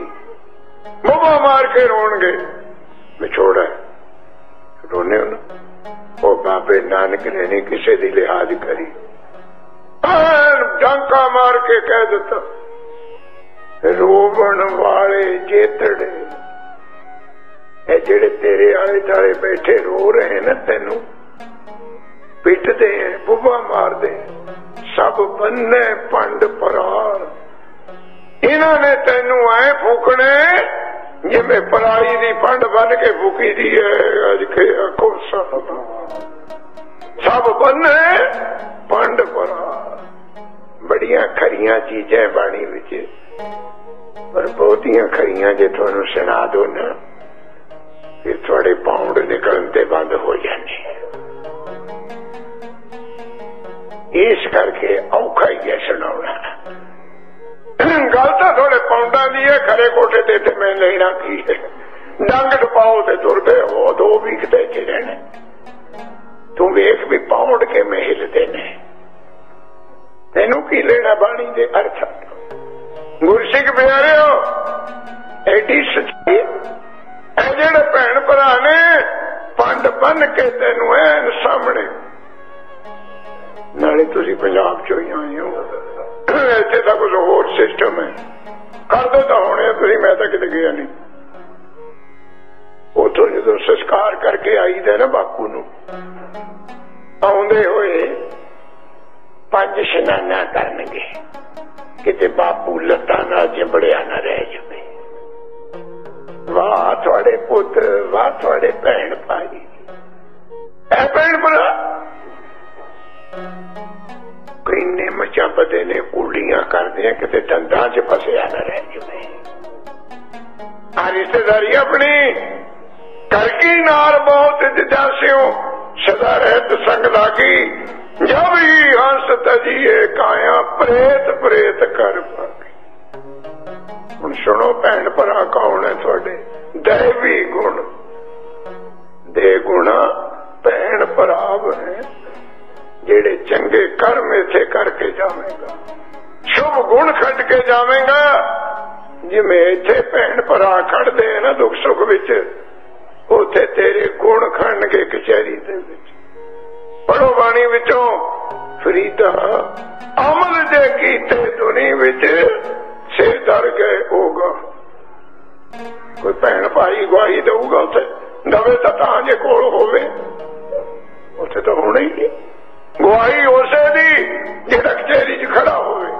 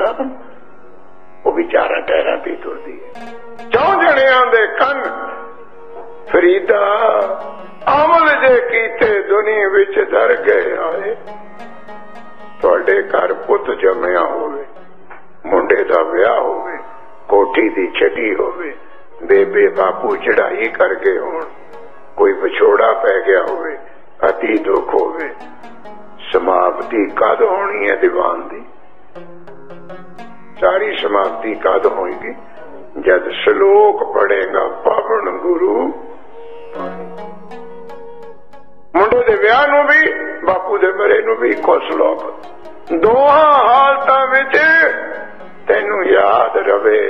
ਚੰਗਿਆਈਆਂ ਬੁਰੀਆਈਆਂ ਵਿੱਚ ਇਹ ਸ਼ਲੋਕ ਐਵੇਂ ਨਹੀਂ ਪੜਿਆ ਜਾਂਦਾ। ਇਹ ਗੱਲ ਤੈਨੂੰ ਯਾਦ ਰਖਾਉਣ ਖਾਤਰ ਚਾਹੇ ਸੁਖ ਹੈ, ਦੁੱਖ ਹੈ, ਚਾਹੇ ਜਨ ਚੜਨੀ ਹੈ, ਚਾਹੇ ਜਨਾਜ਼ਾ ਨਿਕਲਣਾ ਸ਼ਲੋਕ ਹੀ ਪੜਿਆ ਜਾਊਗਾ। ਤੈਨੂੰ ਯਾਦ ਰਵੇ। ਉਥੇ ਕਰਮੀ ਆਪੋ ਆਪਣੀ ਕੇ ਨੇੜੇ। ਇੱਥੇ ਰਾਏ ਬਲਵੰਡ ਜੀ ਕਹਿ ਰਹੇ ਨੇ ਇਹ ਸਤਿਗੁਰੂ ਨਾਨਕ, ਜਿਨ੍ਹਾਂ ਸ਼ੁਭ ਗੁਣਾਂ ਦੇ ਨਾਲ ਬੰਦਾ ਰੱਬ ਤੋਂ ਦਾਨ ਮੰਗਦਾ ਹੈ, ਬਖਸ਼ਿਸ਼ ਮੰਗਦਾ ਹੈ, ਇਹਨੂੰ ਪਰੰਗਤ ਨਾ ਧਰਨ ਵਾਲਾ, ਨਾ ਲੰਘਣ ਵਾਲਾ ਸਾਗਰ ਲੰਘ ਜਮਾਵੇਂ ਉਹ ਗੁਰੂ ਨਾਨਕ ਦੇ ਭੈਣ ਭਰਾ ਨੇ। ਉਹ ਤੇ 24 ਘੰਟੇ ਗੁਰੂ ਨਾਨਕ ਦੇ ਨਾਲ ਵਸਦੇ ਹਨ। ਨਾਨਕ ਰਾਜ ਚਲਾਇਆ ਸਚ ਕੋਟ ਸਤਾਣੀ ਨੀਵਦਾ। ਆ ਕੈਸੇ ਰਾਏ ਬਲਵੰਡ ਜੀ ਬਚਨ ਵਰਤ ਰਹੇ ਨੇ। ਨਾਨਕ ਰਾਜ ਚਲਾਇਆ। ਕੀ ਐਮਪੀਆਂ ਦੀ ਮੈਜੋਰਟੀ ਨਾਲ? ਐਮਐਲਏਆਂ ਦੀ ਮੈਜੋਰਟੀ ਨਾਲ? ਇੱਥੇ ਪ੍ਰਾਈਮ ਮਿਨਿਸਟਰ ਬਣਦਾ ਜਿਹਦੇ ਐਮਪੀ ਜ਼ਿਆਦੇ ਨੇ, ਵੋਟਾਂ ਜ਼ਿਆਦੇ ਨੇ ਚੀਫ ਮਿਨਿਸਟਰ ਉਹੀ ਬਣੂਗਾ। ਰਾਸ਼ਟਰਪਤੀ ਉਹੀ ਬਣਿਆ ਨਾ ਵੋਟਾਂ 2% ਜਿੱਤ ਗਿਆ। ਪਰ ਗੁਰੂ ਨਾਨਕ ਨੇ ਰਾਜ ਕਾਦਾ ਚਲਾਇਆ? ਨਾਨਕ ਰਾਜ ਚਲਾਇਆ ਸੱਚ ਕੋਟ। ਸੱਚ ਦਾ ਕਿਲਾ ਬਣਾਇਆ ਰਜ ਕੇ ਆਖੋ ਸਤਨਾਮ। ਸੱਚ ਕੋਟ ਹੈ ਕਿਸੇ ਰਾਜੇ ਦਾ ਸੱਚਾ ਕਿਲਾ। ਦੋ ਚਾਰ ਸਾਲ 20 ਸਾਲ ਪੈ ਜਾਣੇ। ਇੱਥੇ ਦੇ ਰਾਜਿਆਂ ਦੀ ਗੱਲ ਛੱਡੋ। ਇੰਦਰਪੁਰੀ ਮੈਂ ਸਰਪਰ ਮਰਨਾ। ਬ੍ਰਹਮਪੁਰੀ ਨਹੀਂ ਚਲਣੀ ਰਹਿਣਾ। ਸ਼ਿਵਪੁਰੀ ਕਾ ਹੋਏਗਾ ਕਾਲਾ ਤ੍ਰੈ ਗੁਣ ਮਾਇਆ। ਬੇਨ ਸਬਤਾਲਾ। ਇੱਥੇ ਦੇ ਰਾਜ ਕਾਦੇ ਇੰਦਰਪੁਰੀ ਨੇ ਵੀ ਕਦਰ ਟਹਿ ਜਾਣਾ। ਬ੍ਰਹਮਪੁਰੀ ਨੇ ਵੀ ਟਹਿ ਜਾਣਾ। ਇੱਕ ਗੁਰੂ ਨਾਨਕ ਦਾ ਰਾਜ। ਕਿਉਂ ਕਹਵੇਂ? ਉਹਨੇ ਕਿਲਾ ਹੀ ਸੱਚ ਦਾ ਬਣਾਇਆ ਤੇ ਨੀ ਕਾਦੀ ਰੱਖੀ? ਸੱਚ ਕੋਟ ਸਤਾਣੀ ਨੀਵ ਦੇ ਨੀਂਦ ਤੀ ਕਾਦੀ ਨੀਂਦ ਤੀ ਸਾਰਾ ਮਕਾਨ ਨੀਂਦ ਤੇ ਡਿਪੈਂਡ ਕਰਦਾ ਹੁੰਦਾ। ਸਤ ਆਣੀ ਜਿੰਨਾ ਵੀ ਸੇਵਾ ਸਿਮਰਨ ਦਾ ਜ਼ੋਰ ਸੀ ਸੱਤਿਆ ਸੀ ਸ਼ਕਤੀ ਸੀ ਉਹ ਸਾਰੀ ਆ ਸਿੱਖੀ ਦੇ ਮਹਿਲ ਦੇ ਨੀਂਹ ਵਿੱਚ ਰੱਖ ਦਿੱਤੇ। ਅੱਜ ਕਿਹਾ ਕੋ ਸਤਨਾਮ। ਕਾਰੀਗਰ ਕਹਿੰਦੇ ਹੁਨੇ ਸਭ ਤੋਂ ਵੱਧ ਖਰਚ ਨੀਂਹ ਤੇ ਕਰ ਦੋ। ਡੂੰਗੀ ਪੱਟ। ਪੱਕਾ ਜਕੜ ਲਾਓ। ਕਬੀਰ ਸਾਹਿਬ ਨੂੰ ਬਨਾਰਸ ਦਾ ਰਾਜਾ ਕਹਿੰਦਾ ਮੈਂ ਮਹਿਲ ਬਣਾਉਣਾ ਨਵਾਂ ਨੀ ਤੋਂ ਰਖਾਉਣੀ ਬਨਾਰਸ ਦਾ ਰਾਜਾ। ਕਬੀਰ ਸਾਹਿਬ ਨੇ ਸਮਾਂ ਦੇ ਦਿੱਤਾ। ਉਹ ਤਾਂ ਸਮੇਂ ਸਿਰ ਚਲੇ ਗਏ। ਹੁਣ ਰਾਜਿਆਂ ਦਾ ਕੰਮ ਨਹੀਂ ਪੱਟੇ ਨਾ ਹੋਈ ਅਜੇ ਰਾਜਾ ਕਹਿੰਦਾ, ਮਹਾਰਾਜ, ਮੈਂ ਖਿਮਾ ਦਾ ਜਾਚਕ 10 ਮਿੰਟ ਤੁਸੀਂ ਬੈਠੋ, ਰਾਜੋ। ਨੀ ਡੂੰਗੀ ਪੱਟ ਲਈ ਨੀ ਡੂੰਗੀ ਅਜੇ ਪੂਰੀ ਪੱਟ ਨਹੀਂ ਹੋਈ। ਕਬੀਰ ਸਾਹਿਬ ਕਹਿੰਦੇ, ਪੱਟ ਲੈ। ਸ਼ਬਦ ਕੀ ਉਚਾਰਿਆ? ਰਾਖੋ ਕੰਧ, ਉਸਾਰੋ ਨੀਵਾ। ਤੁਸੀਂ ਸਭ ਇਹੀ ਰਹਿ ਜਾਓਗੇ ਨੀ ਨੀਵੀਂ ਰੱਖੋ। ਜਿੰਨੀ ਨੀਵੀਂ ਰੱਖੀ। ਕਹਿੰਦੇ, ਉਹ ਇਸ ਮਹਿਲ ਦੀ ਨੀ ਨੂੰ ਕਹਿੰਦੇ, ਨੀਵੀਂ ਰੱਖਾਂ ਡੂੰਗੀ ਰੱਖਾਂ। ਸਾਢੇ ਤਿੰਨ ਹੱਥ ਤੇਰੀ ਸੀਮਾ। ਤੇਰੇ ਸਰੀਰ ਦੀ ਕੰਧ ਸਾਢੇ ਤਿੰਨ ਹੱਥ ਧਰਤੀ ਤੋਂ ਉੱਪਰ ਤੁਰੀ ਫਿਰਦੀ ਹੈ। ਨੀ ਕਿ ਜਾਈ ਨਹੀਂ ਅੱਜ ਕੇ ਹੋ ਸਤ ਅੱਛਾ ਕੀ ਨਹੀਂ ਫਿਰਦੇ ਕੰਧ ਰਹਤੇ ਦੀ? ਨਹੀਂ ਹੈ ਹੀ ਨਹੀਂ। ਇਹ ਤਾਂ ਕਾਰਨ ਹੈ ਫਿਰ ਸਕਿੰਟ ਵੀ ਨਹੀਂ ਲੱਗਦਾ ਜੀ ਕੇ ਕੋ ਸਾਧਨਾ ਨਹੀਂ ਕੋਈ ਹੋਵੇ, ਗਿਰਦਾ ਗਿਰਦਾ ਕਮਰਾ ਦੇ ਲਾਉ ਨਾ ਇੱਕ ਇੰਚ ਵੀ ਨਹੀਂ ਨਹੀਂ ਆਪਣੇ। ਸਾਡੇ ਤਿੰਨ ਹੱਥ ਤੇਰੀ ਸੀ। ਗੁਰੂ ਨਾਨਕ ਨੇ ਨਹੀਂ ਰੱਖੀ। ਸੱਚ ਦਾ ਕਿਲਾ ਸੱਤੇ ਸ਼ੁਭ ਕਰਮ, ਸੇਵਾ ਸਿਮਰਨ। ਤਾਂ ਹੀ ਕੱਲ ਤੁਹਾਨੂੰ ਸੁਣਾਇਆ ਸੀ ਨਾ। ਨਹੀਂ ਰੱਖੀ ਹਰਮੰਦਰ ਸਾਹਿਬ ਦੀ। ਗੁਰੂ ਬਾਬਾ ਬੁੱਢਾ ਸਾਹਿਬ ਨੂੰ ਕਹਿੰਦੇ, ਸੰਤੋਖ ਸਰ ਦੀ ਮਿੱਟੀ ਲਿਆਓ ਪੱਟ ਕੇ। ਕੱਲ ਗਏ ਅਸੀਂ। ਬਾਬਾ ਬੁੱਢਾ ਜੀ ਕਹਿੰਦੇ, ਸੰਤੋਖ ਸਰ ਦੀ ਮਿੱਟੀ ਇੱਥੇ ਕੀ ਕਰਨੀ? ਨਹੀਂ ਤਾਂ ਹਰਮੰਦਰ ਦੀ ਰੱਖਣੀ। ਸਤਗੁਰ ਕਹਿੰਦੇ, ਲਿਆਓ। ਕਿਉਂ? ਇਹ ਹਰੀ ਦਾ ਮੰਦਰ ਬਣਨਾ ਇਹਦੀ ਨੀ ਸੰਤੋਖ ਤੇ ਹੀ ਖੜੂਗੀ। ਹਰਮੰਦਰ ਸਾਹਿਬ ਦੀਆਂ ਨੀਹਾਂ ਵਿੱਚ ਸੰਤੋਖ ਸਰਦੀ ਮਿੱਟੀ ਪਾਈ ਗਈ ਸੀ। ਤਾਂ ਮਈਆਂ ਮੀਰ ਤੋਂ ਨਹੀਂ ਰਖਾਈ ਸੀ। ਧਰਮ ਸੰਤੋਖ ਤੋਂ ਬਿਨਾ ਚੱਲਣਾ ਨਹੀਂ ਸਤ ਜੁਗ ਰਤ ਸੰਤੋਖ ਕਾ ਧਰਮ ਅਗੇ ਰਥਵਾ ਸੰਤੋਖ ਤੋਂ ਬਿਨਾ ਧਰਮ ਨੇੜੇ ਵੀ ਨਹੀਂ ਆਊਗਾ ਤੁਹਾਡੇ। ਗੁਰਮੁਖ ਮੇ ਅਜ ਕੇ ਆਖੋ ਸਤਿ ਸਤਾਣੀ ਨੀਵ ਸੱਚੀਆਂ ਗੱਲਾਂ, ਸਿਮਰਨ ਸੇਵਾ, ਪਰ ਉਪਕਾਰ। ਸੱਚੀਆਂ ਗੱਲਾਂ ਮੂੰਹ ਤੋਂ ਹੀ ਨਹੀਂ ਹੋਣੀਆਂ ਕਿਤੇ ਕਹੋ ਇਹ ਮੂੰਹ ਤੋਂ ਬੋਲ ਕੇ, ਨਹੀਂ ਨਹੀਂ। ਸੁਣ ਲਓ ਗੁਰੂ ਅਰਜਨ ਦੀ ਬਾਣੀ, ਸੱਚੀਆਂ ਗੱਲਾਂ ਕਿਹੜੀਆਂ? ਮਿੱਥਿਆ ਨਹੀਂ ਰਸਨਾ ਪਰਸ। ਇਹ ਜੀਬਾ ਦਾ ਸੱਚ ਹੈ, ਝੂਠ ਨਹੀਂ ਬੋਲਣਾ। ਅੱਖਾਂ ਦਾ ਸੱਚ, ਕੰਨਾਂ ਦਾ ਸੱਚ ਕੀ ਹੈ? ਮਿੱਥਿਆ ਨਹੀਂ, ਰਸਨਾ। ਮਨ ਮੇ ਪ੍ਰੀਤ, ਨਰਿੰਜਨ ਦਸ। ਮਨ ਦਾ ਸੱਚ ਇੱਕ ਵਾਹਿਗੁਰੂ ਦਾ ਪ੍ਰੇਮ ਵਿੱਚ ਹੋਵੇ, ਅਜ ਕੇ ਆਖੋ ਸਭ ਇਹ ਮਨ ਦੀ ਸਚਾਈ ਹੈ। ਬਾਕੀ ਪ੍ਰੇਮ ਝੂਠਾ ਮਨ ਮੈਂ ਪ੍ਰੀਤ, ਨਰਿੰਜਨ। ਅੱਖਾਂ ਦਾ ਸੱਚ ਕੀ ਹੈ? ਅੱਖਾਂ ਨੇ ਬੋਲਣਾ ਤਾਂ ਹੈ ਨਹੀਂ। ਕੀ ਸੱਚ ਹੈ? ਪਰ ਤੇਰਿਆ ਰੂਪ ਨਾ ਪੇਖੈ ਨੇਤਰ ਇਹ ਅੱਖਾਂ ਦੀ ਸਚਾਈ ਹੈ। ਇੱਥੇ ਇੱਕ ਟੈਕਨੀਕਲ ਪੁਆਇੰਟ ਹੈ। ਅੱਖਾਂ ਨੂੰ ਤੁਸੀਂ ਰੋਕ ਸਕਦੇ ਬੀਬੀਆਂ ਨੂੰ ਦੇਖਣ ਤੋਂ। ਜਿਹੜੀ ਭੈਣ ਬੀਬੀ ਸਾਹਮਣੇ ਆ ਗਈ ਦਿਖ ਜਾਣੀ ਕੀ ਬੰਦ ਕਰ ਲਓਗੇ ਅੱਖਾਂ? ਇੱਥੇ ਬਹੁਤ ਗੰਭੀਰ ਸ਼ਬਦ ਮਹਾਰਾਜ ਨੇ ਦੇਖਣ ਤੋਂ ਨਹੀਂ ਹਟਾਇਆ। ਕਿਉਂਕਿ ਦੇਖਣ ਤੋਂ ਘਾਟੇ ਨਹੀਂ ਸਕਦੀ। ਗੰਦੀ ਤੋਂ ਗੰਦੀ ਚੀਜ਼ ਸਾਹਮਣੇ ਆ ਜੇ ਉਹਨੂੰ ਵੀ ਦੇਖ ਲੈਣਗੀਆਂ। ਚੰਗੀ ਤੋਂ ਚੰਗੀ ਆ ਜੇ ਉਹਨੂੰ ਵੀ ਦੇਖ ਲੈਣਗੀ ਗੁਣ ਇਹਨਾਂ ਦਾ, ਜੋ ਧੀ ਭੈਣ ਸਾਹਮਣੇ ਆ ਗਈ, ਅੱਖਾਂ ਨੇ ਦੇਖ ਲੈਣੀ ਹੈ। ਸਤਿਗੁਰ ਕਹਿੰਦੇ, ਦੇਖਣ ਤੋਂ ਨਹੀਂ ਤੈਨੂੰ ਹਟਾਉਂਦੇ।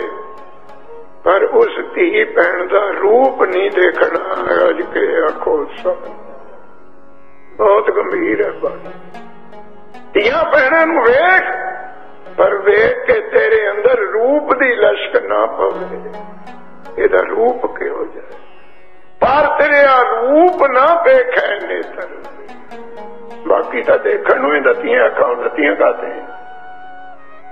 ਇਹ ਨਹੀਂ ਮਨ ਵਿੱਚ ਲਿਆਉਣਾ ਇਸ ਭੈਣ ਦਾ ਰੂਪ ਕਿਹੋ ਜਿਹਾ ਨਹੀਂ, ਉਹ ਨਹੀਂ ਦੇਖਣਾ ਇਹ ਅੱਖਾਂ ਦਾ ਸੱਚ ਹੈ।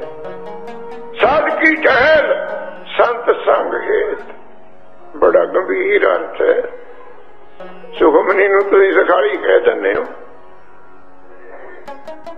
ਸਮੁੰਦਰ ਉੱਚੋਂ ਹੀ ਦਿਖਦਾ ਹੈ, ਲਹਿਰਾਂ ਬੜੀਆਂ ਸੋਹਣੀਆਂ, ਹਵਾ ਬੜੀ ਸੋਹਣੀ ਹੈ। ਬੜੇ ਸੁੰਦਰ ਦ੍ਰਿਸ਼ ਨੇ। ਪਰ ਕਿਤੇ ਛਾਲ ਮਾਰ ਕੇ ਦੇਖ ਫੇਰ ਪਤਾ ਲੱਗੂ ਕਿ ਆ ਹੁੰਦਾ ਹੈ, ਅੱਜ ਕਿਹੜਾ ਕੋਈ ਸਤਨਾ ਕਿਤੇ ਵਿੱਚ ਉਧਰ ਕੇ ਦੇਖਦੇ ਨੂੰ ਪਤਾ ਲੱਗਿਆ। ਉਹ ਤੁਹਾਡਾ ਤਾਂ ਫਾਰਮੂਲਾ ਹੀ ਹੋ ਰਿਹਾ ਇੱਥੇ ਵੀ ਬੈਠੇ ਹੋਣੇ ਕਈ। ਜਿਹੜੇ ਸਵੇਰੇ ਸਮੁੰਦਰ ਤੇ ਸੈਰ ਕਰਨ ਜਾਂਦੇ ਹੋਣੇ ਨਹਿਰਾਂ ਤੇ।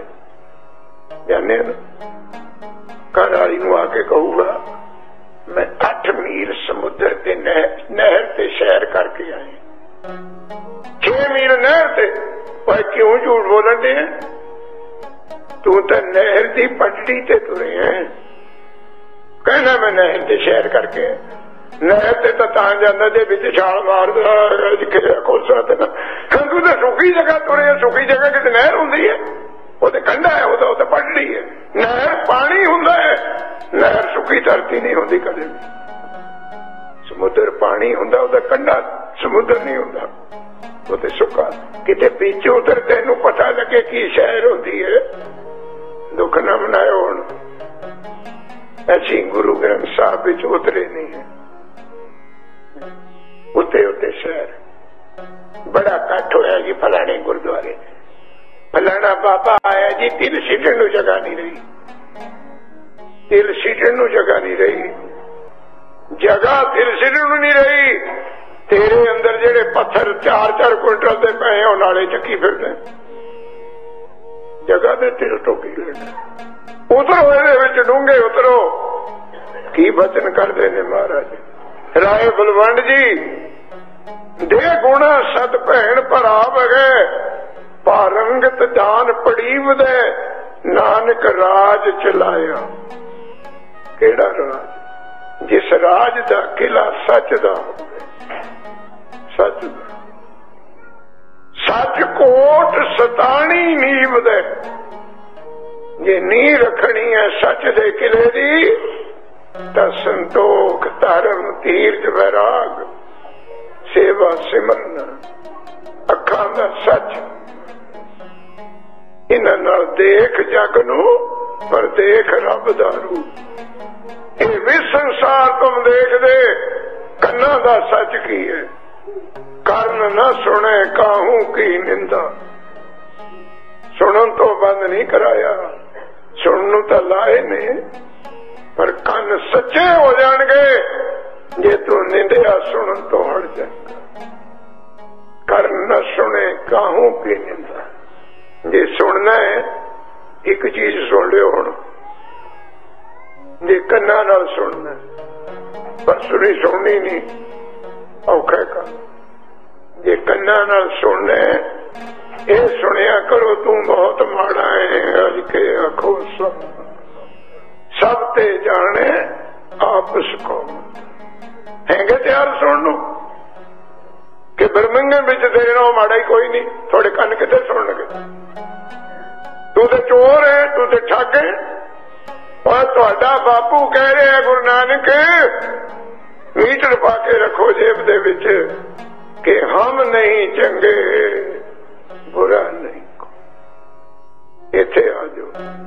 ਕਰਨ ਨਾ ਸੁਣੇ, ਕਾਹੂ ਕਿ ਹੋਰ ਦੀ ਨਹੀਂ ਸੁਣਨੀ। ਗੁਰੂ ਅਰਜਨ ਕਹਿੰਦਾ, ਆਪਣੀ ਸੁਣ ਲਿਆ ਕਰ, ਅਜ ਕੇ ਆਖੋ ਸਤਨ ਕਾਹੂ ਕੀ ਕਿਹਾ, ਤੇਰੀ ਨਹੀਂ ਕਿਹਾ, ਵੀ ਤੂੰ ਆਪਣੀ ਨਹੀਂ ਸੁਣਨੀ। ਬੜੀ ਡੁੰਗਿਆਈ ਹੈ ਬਾਣੀ। ਹੋਰ ਦੀ ਨਹੀਂ ਸੁਣਨੀ, ਆਪਣੀ ਸੁਣ। ਕਬੀਰ ਨੇ ਤਾਂ ਹੀ ਲਿਖਤਾ, ਨਿੰਦੋ ਨਿੰਦੋ। ਮੋਖੋ ਲੋਗ ਨਿੰਦੋ। ਨਿੰਦਾ ਜਨ ਕੋ ਖਰੀ ਪਿਆਰੀ, ਨਿੰਦਾ ਬਾਪ, ਨਿੰਦਾ ਮੈਂ। ਉਹਦੇ ਚੇਲੇ ਚੱਲੜੇ ਤੇ ਨਾ, ਉਹ ਡਾਂਗਾ ਚੱਕੀ ਫਿਰ। ਕਹਿੰਦੇ, ਬਹੁਤ ਮਾੜਾ ਬੋਲਦਾ ਤੁਹਾਨੂੰ ਬਨਾਰਸ ਵਿੱਚ। ਇਹਨੂੰ ਖਤਮ ਕਰ ਦੇਣਾ। ਉਹਦੇ ਘਰ ਵੀ ਜਾਇਆ ਕਹਿੰਦੇ ਹਟ ਜਾ ਨਹੀਂ, ਤੈਨੂੰ ਮਾਰ ਦੇਂਗੇ। ਕਬੀਰ ਸਾਹਿਬ ਨੂੰ ਲੱਗੇ ਪਤਾ। ਕਬੀਰ ਸਾਹਿਬ ਕਹਿੰਦੇ ਉਹ ਮੇਰਾ ਨਿੰਦਕ ਨਹੀਂ ਜਿਹੜਾ ਨਿੰਦਾ ਕਰਦਾ ਹੈ। ਬਾਣੀ। ਉਹ ਨਿੰਦਕ ਨਹੀਂ ਹੈ। ਚੇਲੇ ਚੜਦੇ ਕਹਿੰਦੇ, ਨਿੰਦਕ ਹੈ ਕੌਣ ਫਿਰ? ਸ਼ਰੇ ਆਮ ਤਾਂ ਬਾਜ਼ਾਰਾਂ 'ਚ ਕਰਦਾ ਥੋੜੀ ਨਿੰਦਿਆ ਕਬੀਰ ਸਾਹਿਬ ਕਹਿੰਦੇ, ਉਹ ਨਹੀਂ ਨਿੰਦਕ ਸੋ ਜੋ ਨਿੰਦਾ ਹੋ ਰਿਹਾ ਹੋਰੇ ਨਹੀਂ ਹੋ ਰਿਹਾ ਹੋਰ ਸ਼ਬਦ ਸੰਸਕ੍ਰਿਤ ਦਾ ਹੋੜ। ਜਿਹਨੂੰ ਮਹਾਰਾਜ ਨੇ ਬਖਸ਼ ਬਾਣੀ ਵਿੱਚ ਆਖਿਆ ਗਈ ਬਹੋੜ ਰੋਕਣ। ਪੰਜਾਬੀ ਬੋਲਾਂ ਮੈਂ ਸੰਚਾਰੀਆਂ ਹੋਣੀਆਂ ਮੇਰੇ ਹੱਥ ਦੇ ਨੇ। ਹੋੜਾ ਲਾਉਣਾ, ਮੋੜ ਕੇ ਲਿਆਉਣਾ, ਅਜ ਕੇ ਕੋਸਾ ਆ ਗਈ ਹੋਣੀ ਯਾਦ। ਤੁਸੀਂ ਚਾਰੋ ਨਾ ਚਾਰੋ ਥੋੜੇ ਬਾਪੂ ਨਾਨਕ ਨੇ ਚਾਰੀਆਂ, ਅਜ ਕੇ ਕੋਸਾ ਉਹ ਵਿਚਾਰ ਹੋੜਨਾ, ਮੋੜਨਾ। ਨਾਮੇ ਕੇ ਸਵਾਮੀ ਸੀ ਬੋਹਰੀ ਬੋਹੜੀ। ਗਈ ਹੋਈ ਮਾਤਾ ਮੋੜ ਕੇ ਲਿਆਂਦੀ ਬੋਹਰੀ ਸੰਸਕ੍ਰਿਤ ਦਾ ਸ਼ਬਦ ਕਬੀਰ ਸਾਹਿਬ ਕਹਿੰਦੇ, ਮੇਰੀ ਨਿੰਦਿਆ ਕਰਨ ਵਾਲਾ ਨਿੰਦਕ ਨਹੀਂ। ਨਿੰਦਕ ਤੁਸੀਂ ਹੋ ਜਿਹੜੇ ਕਰਨ ਤੋਂ ਹਟਾਉਂਦੇ ਹੋ। ਦੇਖੋ ਕਿਸ। ਨਿੰਦਕ ਸੋਚੋ, ਨਿੰਦਾ ਹੋ ਰਿਹਾ। ਜਿਹੜਾ ਉਹਨੂੰ ਹਟਾਉਂਦਾ ਹੈ ਨਾ ਕਰ, ਉਹ ਮੇਰਾ ਨਿੰਦਕ ਹੈ। ਐਸੀ ਬਿਰਤੀ ਬਣਾਓ ਕਦੇ। ਕਰਨ ਨਾ ਸੁਣੇ, ਕਾਹੂ ਕੀ ਨਿੰਦਾ? ਦੂਜੇ ਦੀ ਨਹੀਂ ਸੁਣਨੀ। ਗੁਰੂ ਅਰਜਨ ਕਹਿੰਦਾ, ਆਪਣੀ ਸੁਣਿਆ ਕਰ। ਕਿਉਂ ਫਾਇਦਾ ਕੀ ਹੋ? ਕੁਛ ਮੈਲ ਉਤਰ ਜੂਗੀ ਅੱਜ ਕੇ ਆਖੋ, ਸਭ। ਨਿੰਦਕ ਹਮਰੇ ਕਪੜੇ ਹਮ ਨਹੀਂ ਚੰਗੇ, ਇਹ ਕਰਨਾ ਦਾ ਕੰਨਾ ਦਾ ਸੱਚ ਹੈ। ਸਭ ਤੇ ਜਾਣੇ ਆਪਸ ਕੋ ਮੰਦ। ਕ੍ਰਿਸ਼ਨ ਭਗਵਾਨ ਬੈਠੇ ਸੀ ਦਵਾਰਕਾ ਚ। ਸੇਵਕ ਨੂੰ ਕਹਿੰਦੇ ਨਿਰਜੋਧਨ ਨੂੰ ਬੁਲਾ ਕੇ ਲਿਆ। ਇੱਕ ਦੂਜੇ ਸੇਵਕ ਨੂੰ ਕਹਿੰਦੇ, ਯੁਧਿਸ਼ਟਰ ਨੂੰ ਬੁਲਾ ਕੇ ਲਿਆ। ਸੰਗਤ ਹੈਰਾਨ ਕਿ ਕ੍ਰਿਸ਼ਨ ਕਰਦਾ ਕੀ ਅੱਜ? ਇਹ 네ਗੇਟਿਵ ਪੋਜ਼ਿਟਿਵ ਦੋਵੇਂ ਇਕੱਠੇ ਕਰ ਦੇਣੇ ਅੱਜ ਕੋ ਸਦਨਾਮ ਕਿੱਥੇ ਦੁਰਜੋਧਨ ਕਿੱਥੇ ਯੁਧਿਸ਼ਟਰ ਤੇ 네ਗੇਟਿਵ ਪੋਜ਼ਿਟਿਵ ਪੜਾਖਾ ਪਊਗਾ? ਬੁਲਾ ਲਿਆਂਦੇ ਦੁਰਜੋਧਨ ਕਹਿੰਦਾ ਜੀ, ਮੈਨੂੰ ਬੁਲਾਇਆ ਕਹਿੰਦੇ ਦੁਰਜੋਧਨ ਸ਼ਾਮ ਤੱਕ ਜਾ ਕਿਤੇ ਇੱਕ ਚੰਗਾ ਬੰਦਾ ਟੋਲ ਕੇ ਲਿਆ ਮੈਨੂੰ ਲੋੜ ਹੈ। ਚੰਗਾ। ਕਹਿੰਦਾ, ਲਿਆਉਣਾ। ਯੁਧਿਸ਼ਟਰ ਕਹਿੰਦਾ ਜੀ, ਮੈਨੂੰ ਕੀ ਹੁਕਮ ਹੈ? ਕਹਿੰਦੇ ਤੂੰ ਇੱਕ ਮਾੜਾ ਬੰਦਾ ਟੋਲ ਕੇ ਲੈ ਮਾੜ, ਕਹਿੰਦਾ ਜੀ ਲੈ ਆਉਂਦਾ। ਦੋਵੇਂ ਚਲੇ ਗਏ, ਸਾਂਝ ਨੂੰ ਆ ਗਏ। ਨਿਰਜੋਤ ਨੂੰ ਕਹਿੰਦੇ, ਉਹ ਤੂੰ ਕੱਲਾ ਹੀ ਆਇਆ ਤੈਨੂੰ ਕਿਹਾ ਸੀ, ਚੰਗਾ ਬੰਦਾ ਟੋਲ ਕੇ ਲਿਆ। ਮੈਨੂੰ ਲੋੜ ਨਿਰਜੋਤ ਕਹਿੰਦਾ, ਕ੍ਰਿਸ਼ਨ ਜੀ ਟੋਲਣ ਦੀ ਲੋੜ ਨਹੀਂ, ਸਭ ਤੋਂ ਚੰਗਾ ਮੈਂ ਤੁਹਾਡੇ ਸਾਹਮਣੇ ਖੜਾ ਤਾਂ ਹੈ, ਅੱਜ ਖੇੜਾ ਕੋਸਾ ਤੇ। ਐਵੇਂ ਡੋਲਦਾ ਫਿਰਦਾ। ਮੈਂ ਤਾਂ ਸਹੀ।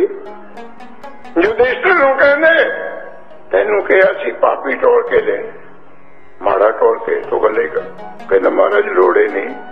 ਸਾਰਿਆਂ ਤੇ ਮਾੜਾ ਮੈਂ ਤੁਹਾਡੇ ਸਾਹਮਣੇ ਖੜਾ ਤਾਂ ਪਰ ਮੁੱਲਾ ਲੈ ਜਾਓ ਕਰ ਲੂ ਜਿੱਦਣ ਤੁਹਾਡੇ ਮਨ ਵਿੱਚ ਇਹ ਗੱਲ ਆ ਗਈ ਕਿ ਮੈਂ ਸਭ ਤੋਂ ਮਾੜਾ ਮੈਂ ਦੁਨੀਆ ਵਿੱਚ ਮਾੜਾ ਰਹਿਣਾ ਹੀ ਕੋਈ ਨਹੀਂ ਰਜ ਕੇ ਆਖੋ ਸਭ ਇਹ ਦੁਨੀਆ ਭੈੜੀ ਕਿਉਂ ਦਿਖਦੀ ਹੈ? ਮਾੜੇ ਕਿਉਂ ਦਿਖਦੇ ਆਪਾਂ ਦੁੱਧ ਧੋਤੇ हैं ਆਪਾਂ ਚੰਗੇ ਇਕਬਾਲ ਨੇ ਤਾਂ ਹੀ ਲਿਖ ਦਿੱਤਾ। ਨਾ ਸੀ ਜਬ ਕੇ ਹਮੇ ਖੁਦ ਆਪਣੀ ਖਬਰ। ਮੈਨੂੰ ਆਪਣਾ ਨਹੀਂ ਸੀ ਪਤਾ। ਰਾਹ ਦੇਖਤਾ ਗੈਰੋਂ ਕੋਈ ਐਬੋ ਹੁਨਰ। ਦੁਨੀਆ ਦੇ ਔਗਣੇ ਦੇਖਦਾ ਪਈ ਬੜੀ ਆਪਣੀ ਹੀ ਜਾਨ ਨੂੰ ਪਜਾਵੀਏ ਨਜ਼ਰ। ਜਿੱਦਣ ਮੈਂ ਅੰਦਰ ਚਾਤੀ ਮਾਰੀ ਆਪਣੇ, ਜਹਾਂ ਮੈਂ ਕੋਈ ਬੁਰਾ ਨਾ ਰਹਾ। ਦੁਨੀਆ ਹੀ ਸਾਦਾ ਦੀ ਦਿਖਣ ਲੱਗ ਪਈ, ਅਜ ਕੇ ਆਖੋ ਸਭ ਇਹ ਤਾਂ ਭੈੜੇ ਹੀ ਤਾਂ ਦਿਖਦੇ ਚੰਗੇ ਆਪਾਂ ਜਿਹੜਾ ਬੰਦਾ ਸਮਝਵੇ ਕਿ ਮੈਂ ਮਾੜਾ ਦੁਨੀਆ ਚੰਗਿਆਂ ਦੀ ਹੋ ਜਾਣੀ ਹੈ। ਹਮ ਨਹੀਂ ਚੰਗੇ, ਬੁਰਾ ਰਹਿਣੇ ਕੋਈ ਪਰ ਆਪਾਂ ਚੰਗੇ ਇਸ ਕਰਕੇ ਚੰਗਾ ਦਿਖਦਾ ਕੋਈ ਨਹੀਂ, ਸਭ ਬੁਰੇ ਦਿਖਦੇ। ਪਾਰੰਗਤ ਦਾਨ ਪੜੀ ਵਦੇ ਨਾਨਕ ਰਾਜ ਚਲਾਇਆ, ਪਰ ਉਪਕਾਰ ਸੱਚ ਦਾ ਕਿਲਾ ਬਣਾਉਣ ਖਾਤਰ ਕਿਤੇ ਚੂਨੇ ਦੀ ਨਹੀਂ ਰੱਖੋ ਜੂਗੀ। ਲੋਹੇ ਦਾ ਕੜਾ ਲੱਗ ਜੂਗਾ। ਉਹ ਤਾਂ ਲੋਹਾ ਝੂਠਾ ਹੈ। ਚੂਨਾ ਤੇ ਝੂਠਾ ਹੈ। ਪੱਥਰ ਤੇ ਝੂਠਾ ਹੈ। ਕੰਕਰੀਟ ਤੇ ਝੂਠੀ ਹੈ। ਇਹ ਨਹੀਂ ਰੱਖ ਕੇ ਸੱਚ ਦਾ ਕਿਲਾ ਨਹੀਂ ਬਣ ਸਕਦਾ। ਸੱਚ ਦਾ ਕਿਲਾ ਬਣ ਸਕਦਾ ਹੈ। ਸਤ ਸੰਤੋਖ ਧਰਮ ਧੀਰਜ ਵੈਰਾਗ। ਕਰਨਾ ਮੈਤਰੀ ਮੁੱਦਤਾ ਅਪੇਕਸ਼। ਕਿਹੜਾ ਕਿਲਾ ਬਈ? ਕਿਤੇ ਦਿਖਦਾ ਤਾਂ ਹੈ ਨਹੀਂ ਕਿਤੇ ਬਾਬੇ ਨਾਨਕ ਨੇ ਨਨਕਾਣੇ ਬਣਾਇਆ। ਕਬੀਰ ਸਾਹਿਬ। ਅਹਿਮਨਾਬਾਦ ਡਿਟੇਲ ਚ ਨਹੀਂ ਜਾਂਦਾ ਮੈਂ। ਜਿੱਦਣ ਗੁਰੂ ਨਾਨਕ ਦੇ ਬਚਨ ਮੰਨ ਲਓਗੇ ਨਾ, ਇਹ ਸਰੀਰ ਹੀ ਸੱਚ ਦਾ ਕਿਲਾ ਬਣ ਜਾਣਾ ਹੈ। ਅੱਜ ਕੇ ਆਖੋ ਸਤਿ ਇਹੀ ਸੱਚ ਦਾ ਕਿਲਾ ਹੋਰ ਨਹੀਂ ਬਾਹਰ ਬਣਨਾ ਕੋਈ। ਇਹ ਸੱਚ ਦਾ। ਪਰ ਨਹੀਂ ਰੱਖਣ ਖਾਤਰ ਮਟੀਰੀਅਲ ਚਾਹੀਦਾ ਹੈ। ਜਿਹੋ ਜਿਹਾ ਮਕਾਨ ਬਣਾਉਣਾ ਹੋਵੇ, ਉਹੋ ਜਿਹਾ ਮਟੀਰੀਅਲ ਬਾਬੇ ਨਾਨਕ ਨੇ ਸੱਚ ਦਾ ਕਿਲਾ ਬਣਾਇਆ, ਧਰਮ ਦਾ। ਸੇਵਾ ਸਿਮਰਨ ਉਹਦੀ ਨੀਂਹ ਵਿੱਚ ਪਾ ਬਾਦਤ ਇਹ ਦੋ ਚੀਜ਼ਾਂ ਹੈਗੀਆਂ। ਕਿਲਾ ਖੜਾ ਹੈ ਤੇਰਾ। ਜੇ ਸੇਵਾ ਤੇ ਸਿਮਰ ਨਹੀਂ, ਫਿਰ ਗੁਰੂ ਗ੍ਰੰਥ ਸਾਹਿਬ ਜੀ ਨੇ ਕਹਿ ਦਿੱਤਾ, ਭਾਈ ਰੇ, ਭਗਤਹੀਣ ਕਾਹੇ ਜਗ ਆਇਆ? ਪੂਰੇ ਗੁਰ ਕੀ ਸੇਵ ਨ ਕੀਨੀ, ਬਿਰਥਾ ਜਨਮ ਗਵਾਇਆ। ਕਿਹੜਾ ਬਚਨ ਹੈ? ਬਹੁਤ ਕਿਹੜਾ। ਕੋਈ ਫ਼ਰਕ ਨਹੀਂ, ਆਪਾਂ ਵੀ ਬਿਹਤਰ ਪ੍ਰੂਫ ਹੈ ਅੱਜ ਕੇ ਆਖੋ ਸੱਚ ਦੋ ਪਈਆਂ ਕਿੱਧਰ ਗਈਆਂ, ਸਦਕੇ ਮੇਰੀ ਟੂਈ ਜਿੰਨਾ ਛੇਤਰ ਬਾਬੇ ਨੇ ਖੜਕਾਇਆ ਨਾ ਆਪਣੇ ਪਰ, ਬਸ ਤਕੜੇ ਜਿਹੜੇ ਸਹਾਰ ਗਏ ਖੜਨਾ ਔਖਾ ਜੁੱਤੀਆਂ ਦੋ ਤਰ੍ਹਾਂ ਦੀਆਂ ਹੁੰਦੀਆਂ ਯਾਦ ਹੈ ਪੰਜਾਬੀਓ? ਭੁੱਲਿਓ ਨਾ। ਇੱਕ ਸੁੱਕੀ, ਇੱਕ ਸਿਆਣੇ ਕਹਿੰਦੇ ਹੋਏ ਭਿਉਂ ਕੇ ਮਾਰਨੀ ਆ। ਯਾਦ ਹੋਣੀ ਆ ਥੋੜੀ ਭਿਉਂ ਭਿੱਜੀ ਹੋਈ ਇੱਕ ਉਹ ਮੇਰੀ ਬੇਨਤੀ ਹੈ ਮਹਾਰਾਜ ਦੇ ਚਰਨਾਂ 'ਚ ਸੱਚੇ ਪਾਤਸ਼ਾਹ ਸੁਖੀਆਂ ਤੇ ਵੀ ਬਚਾ ਕੇ ਹੀ ਰੱਖੇ। ਉਹਦੀ ਉਹ ਕਿਰਪਾ ਜੁੱਤੀ ਦਾ ਜੁੱਤੀ ਹੁੰਦੀ ਹੈ। ਉਹ ਜੁੱਤੀ ਤਾਂ ਪੈਰ ਤੇ ਚੰਗੀ ਲੱਗਦੀ ਹੈ, ਹੱਥ ਵਿੱਚ ਆਈ ਨਹੀਂ ਤੇ ਕੰਮ ਵਿਗੜਿਆ ਬਚਾ ਕੇ। ਪਰ ਇੱਕ ਹੁੰਦੀ ਹੈ ਭਿਉ ਕੇ। ਸੱਟ ਤਾਂ ਸੁੱਕੀ ਦੀ ਵੀ ਵੱਜੂਗੀ। ਵੱਜੂਗੀ ਨਾ? ਤੇ ਬੀਜੀ ਚ ਕੀ ਫ਼ਰਕ ਹੈ? ਵਿਜੀ ਨੇ ਕੱਲੀ ਸੱਟ ਨਹੀਂ ਮਾਰਨੀ। ਜੇ ਟੂਹੀ ਚ ਪੈ ਗਈ ਨਾ, ਉਹਨੇ ਨਾਲ ਲਿਖ ਦੇਣਾ ਬਾਟਾ ਨੰਬਰ 9 ਉਹਨੇ ਕੰਪਨੀ ਦਾ ਨਾਮ ਵੀ ਟੂਹੀ ਤੇ ਛਾਪ ਦੇਣਾ ਇਹ ਫਲੈਕਸ ਦੀ ਹੈ, ਮੇਡ ਇਨ ਚਾਈਨਾ ਹੈ। ਇੰਨਾ ਫ਼ਰਕ ਹੁੰਦਾ ਹੈ। ਬੁੜੀਆਂ ਪਿਓ ਪਿਓ ਕੇ ਬਾਬਾ ਮਾਰ ਰਿਹਾ ਹੈ। ਪਰ ਪੱਥਰ ਬਣ ਗਏ ਕੋਈ ਅਸਰ ਹੀ ਨਹੀਂ ਹੋ ਰਿਹਾ ਅੱਜ ਕੇ ਆਖੋ ਬੜਾ ਮੀਂਹ ਪੈਂਦਾ, ਪੱਥਰ ਸੁੱਕੇ ਦਾ ਸੁੱਕ। ਉਹ ਸਾਡਾ ਹਾਲ ਹੋ ਗਿਆ। ਜ਼ਿੰਦਗੀ ਲੰਘੀ ਗੁਰਦੁਆਰਿਆਂ 'ਚ ਘੁੰਮਦਿਆਂ ਦੀ। ਕਥਾ ਕੀਰਤਨ ਕਰਦਿਆਂ ਦੀ, ਡੇਗਾ ਕਰਾਉਂਦਿਆਂ ਦੀ ਖੰਡ ਪਾਠ ਕਰਾਉਂਦੇ ਆਂਦੀ ਬਦਲਿਆ ਕੱਖ ਵੀ ਨਹੀਂ। ਟੈਂਪਰੇਚਰ ਉਹਨੇ ਦਾ ਹੁੰਦਾ ਵਧਿਆ ਤਾਂ ਜੇ ਸੱਚ ਦਾ ਕਿਲਾ ਬਣਾਉਣਾ ਆ ਹੈ ਤੁਹਾਡਾ ਸਰੀਰ। ਇਹ ਜਗ ਸੱਚੇ ਕੀ ਹੈ, ਕੋਠੜੀ? ਸੱਚੇ ਕਾ ਕੀ ਬਣਾਇਆ ਹੋਇਆ ਆਪਾਂ ਨੇ? ਆਪਾਂ ਨੇ ਬਣਾਇਆ ਹੋਇਆ ਗੱਲਾਂ ਕਰਦੇ ਕਹਿੰਦੇ ਸੱਚ ਕਿਤੇ ਰਿਹਾ ਹੀ ਨਹੀਂ ਗਿਆ। ਗੁਰੂ ਨਾਨਕ ਕਹਿੰਦਾ ਸੱਚ ਦਾ ਘਰ ਬਣਾਇਆ ਮੈਂ ਦੁਨੀਆ। ਇੱਕ ਹੋਰ ਬਚਨ ਕਹਿ ਦਿੱਤਾ। ਇਹ ਨਹੀਂ ਕਿਹਾ ਕਿ ਸੱਚੇ ਦਾ ਘਰ ਹੈ। ਗਾਂ ਵੀ ਕਿਹਾ। ਇਹ ਜਗ ਸੱਚੇ ਕੀ ਹੈ, ਕੋਠੜੀ? ਇਹ ਮਕਾਨ ਸੱਚੇ ਦਾ ਹੈ। ਗਾਂ ਪਤਾ ਕੀ ਟੈਕਨੀਕ ਹੈ। ਕਈ ਵਾਰ ਤੁਸੀਂ ਮਕਾਨ ਬਣਾ ਕੇ ਕਿਰਾਏ ਤੇ ਦੇ ਦਿੰਦੇ ਹੋ। ਦੂਜੇ ਨੂੰ ਦੇ ਦਿੰਦੇ ਹੋ। ਮਾਲਕ ਹੋਰ ਹੁੰਦਾ ਰਹਿਣ ਵਾਲਾ ਹੋਰ ਹੁੰਦਾ ਗੁਰੂ ਨਾਨਕ ਕਹਿੰਦੇ, ਇਹ ਵੀ ਵਹਿਮ ਕੱਢ ਦੋ। ਇਸ ਜਗ ਦੇ ਮਕਾਨ ਦਾ ਮਾਲਕ ਵੀ ਆਪ ਹੈ। ਤੇ ਵਿੱਚ ਰਹਿੰਦਾ ਵੀ ਆਪ ਹੈ ਅਜ ਕੇ ਆਖੋ ਸਨ। ਸੱਚੇ ਕਾ ਵਿਚਵਾਸ ਲੈਣੇ ਧਰਿਓ ਨ ਛਤ ਸਿਰ ਕਰ ਸਿਵਤੇ ਅੰਮ੍ਰਿਤ ਪੀਵਦਾ। ਐਸੇ ਗੁਰੂ ਨਾਨਕ ਦੇਵ ਜੀ ਨੇ ਕਿਲਾ ਬਣਾਇਆ ਸੱਚ ਦਾ। ਨਰਵੀ ਗੁਣ ਨੀਚ ਪਾਤੇ ਐਸੀ ਪੱਕੀ ਨਹੀਂ ਤੇ ਉਸ ਕਿਲੇ ਵਿੱਚ ਕਿਸੇ ਨੂੰ ਗੱਦੀ ਵੀ ਤਾਂ ਦੇਣੀ ਸੀ ਨਾ। ਬਿਠਾਣਾ ਵੀ ਸੀ ਨਾ। ਬਿਠਾਇਆ ਕਿਨੂੰ ਲੈਣੇ ਧਰਿਓ ਨ ਛੱਤ ਸਿਰ। ਉਸ ਕਿਲੇ ਦਾ ਛਤਰ, ਇਸ ਸਿੱਖੀ ਦੇ ਮਹਿਲ ਦਾ ਛਤਰ। ਕਹਿ ਦਿੱਤਾ ਪਟਾਣੇ, ਗੁਰੂ ਨਾਨਕ ਨਿਕਟ ਵਸੈ ਬਨਵਾਰੀ, ਤਿਨ ਲੈਣਾ ਧਾਰ ਜੋਤ ਜਗ ਧਾਰੀ। ਲੈਣਾ ਪੰਥ ਧਰਮ ਕਾ ਕੀਆ। ਇਸ ਕਿਲੇ ਵਿੱਚ ਕਿਸੇ ਹੋਰ ਨੂੰ ਨਹੀਂ ਬਿਠਾਇਆ ਇਹਦਾ ਰਾਜ ਕਿਸੇ ਹੋਰ ਨੂੰ ਨਹੀਂ ਦਿੱਤਾ। ਆਪਣੇ ਹੱਥੀ ਲੈਣੇ ਤਰੇ ਨ ਛੱਤ ਸਿਰ ਕਦੋਂ ਤਰਿਆ ਐਵੇਂ ਧਰਤਾ ਕਰ ਸਿਫਤੀ ਅੰਮ੍ਰਿਤ ਪੀਵਦੈ ਲੈਣੇ ਨੂੰ ਕਦੋਂ ਛਤਰ ਦਿੱਤਾ? ਜਦੋਂ ਬਾਬਾ ਨਾਨਕ ਸਮਝ ਗਿਆ। ਹੁਣ ਇੱਕ ਅਕਾਲ ਪੁਰਖ ਦੀ ਸਿਫਤ ਦਾ ਹੀ ਅੰਮ੍ਰਿਤ ਲੈਣਾ ਪੀ ਰਿਹਾ ਹੈ। ਜਗ ਦੀਆਂ ਸਿਫਤਾਂ ਤੋਂ ਉੱਚਾ ਉੱਠ ਖੜਿਆ। ਹੁਣ ਦੁਨੀਆ ਦੇ ਰਾਸੀ ਨੂੰ ਅੰਮ੍ਰਿਤ ਨਹੀਂ ਲੱਗਦੇ। ਇੱਕੋ ਇੱਕ ਰਸ ਮੀਠਾ ਕਿਹੜਾ? ਹਰ ਬਿਨ ਕਛੂ ਨ ਲਾਗਈ ਭਗਤਨ ਕੋ ਮੀਠਾ। ਆਨ ਸਾਧ ਸਭ ਫੀਕਿਆ। ਪ੍ਰੀਤ ਵੀ ਪੁੱਜ ਗਿਆ ਸੀ ਇੱਥੇ। ਪ੍ਰੀਤ ਕਰ ਸਿਫਤੀ, ਅੰਮ੍ਰਿਤ ਪੀਵ ਉਹਨੇ ਵੀ ਮਾਂ ਨੂੰ ਕਹਿਤਾ, ਮਾਂ ਤੇਰੀ ਸ਼ੱਕਰ ਮਿੱਠੀ, ਤੇਰਾ ਸ਼ਹਿਦ ਮਿੱਠਾ, ਤੇਰਾ ਦੁੱਧ ਮਿੱਠਾ, ਤੇਰੀ ਮਿਸ਼ਰੀ ਨਿਵਾਤ ਮਿੱਠੀ। ਮਿੱਠੀਆਂ ਹੈਗੀਆਂ, ਪਰ ਮੇਰੇ ਅੱਲਾ ਜਿੰਨੇ ਮਿੱਠੀਆਂ ਨਹੀਂ ਹੈ, ਅੱਜ ਕੇ ਆਖੋ ਸਭ। ਉਹ ਵੀ ਇੱਥੇ ਪੁੱਜ ਗਿਆ ਸੀ ਲੈਣਾ ਇੱਥੇ ਪੁੱਜ ਗਿਆ ਸੀ ਦੁਨੀਆ ਦੇ ਰਸ, ਦੁਨੀਆ ਦੀਆਂ ਸਿਫਤਾਂ ਪਿੱਛੇ ਰਹਿ ਗਈਆਂ। ਇੱਕ ਗੁਰੂ ਨਾਨਕ ਦੀ ਸਿਫਤ ਗੁਰੂ ਨਾਨਕ ਦੇ ਬਚਨਾਂ ਨੂੰ ਅੰਮ੍ਰਿਤ ਕਰਕੇ ਪੀ ਜਾਣਾ ਕੌੜੇ ਨੂੰ ਪੀ ਗਿਆ। ਆਉਗੀ ਕਥਾ। ਇਹ ਤੋਂ ਕੌੜਾ ਬਚਨ ਕੀ ਹੋਵੇਗਾ? ਤੂੰ ਮੁਰਦੇ ਨੂੰ ਖਾ। ਗਲੇ ਸੜੇ ਲਾਸ਼ ਨੂੰ ਖਾ।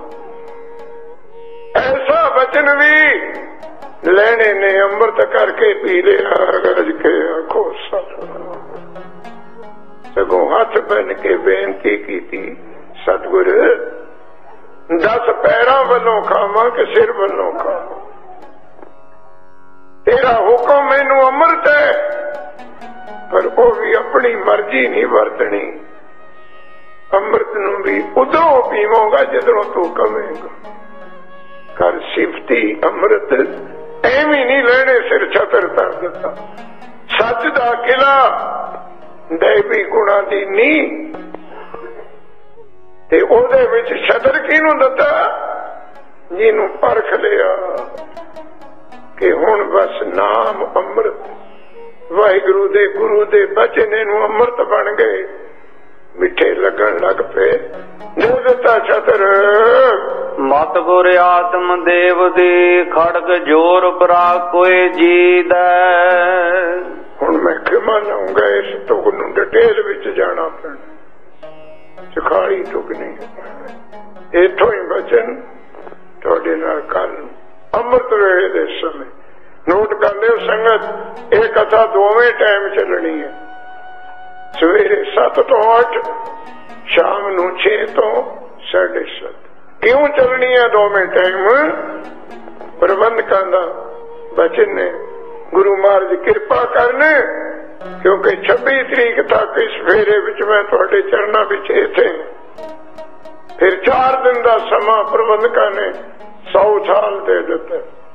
ਕੋਸ਼ਿਸ਼ ਕਰਨੀ ਹੈ ਮਹਾਰਾਜ ਕਿਰਪਾ ਕਰਨ, ਇਸ ਬਾਣੀ ਨੂੰ ਆਪਾਂ ਸੰਪੂਰਨ ਕਰ ਸਕੀਏ। ਇਸ ਕਰਕੇ ਦੋਵੇਂ ਟਾਈਮ ਇਸੇ ਬਾਣੀ ਦੀ ਕਥਾ।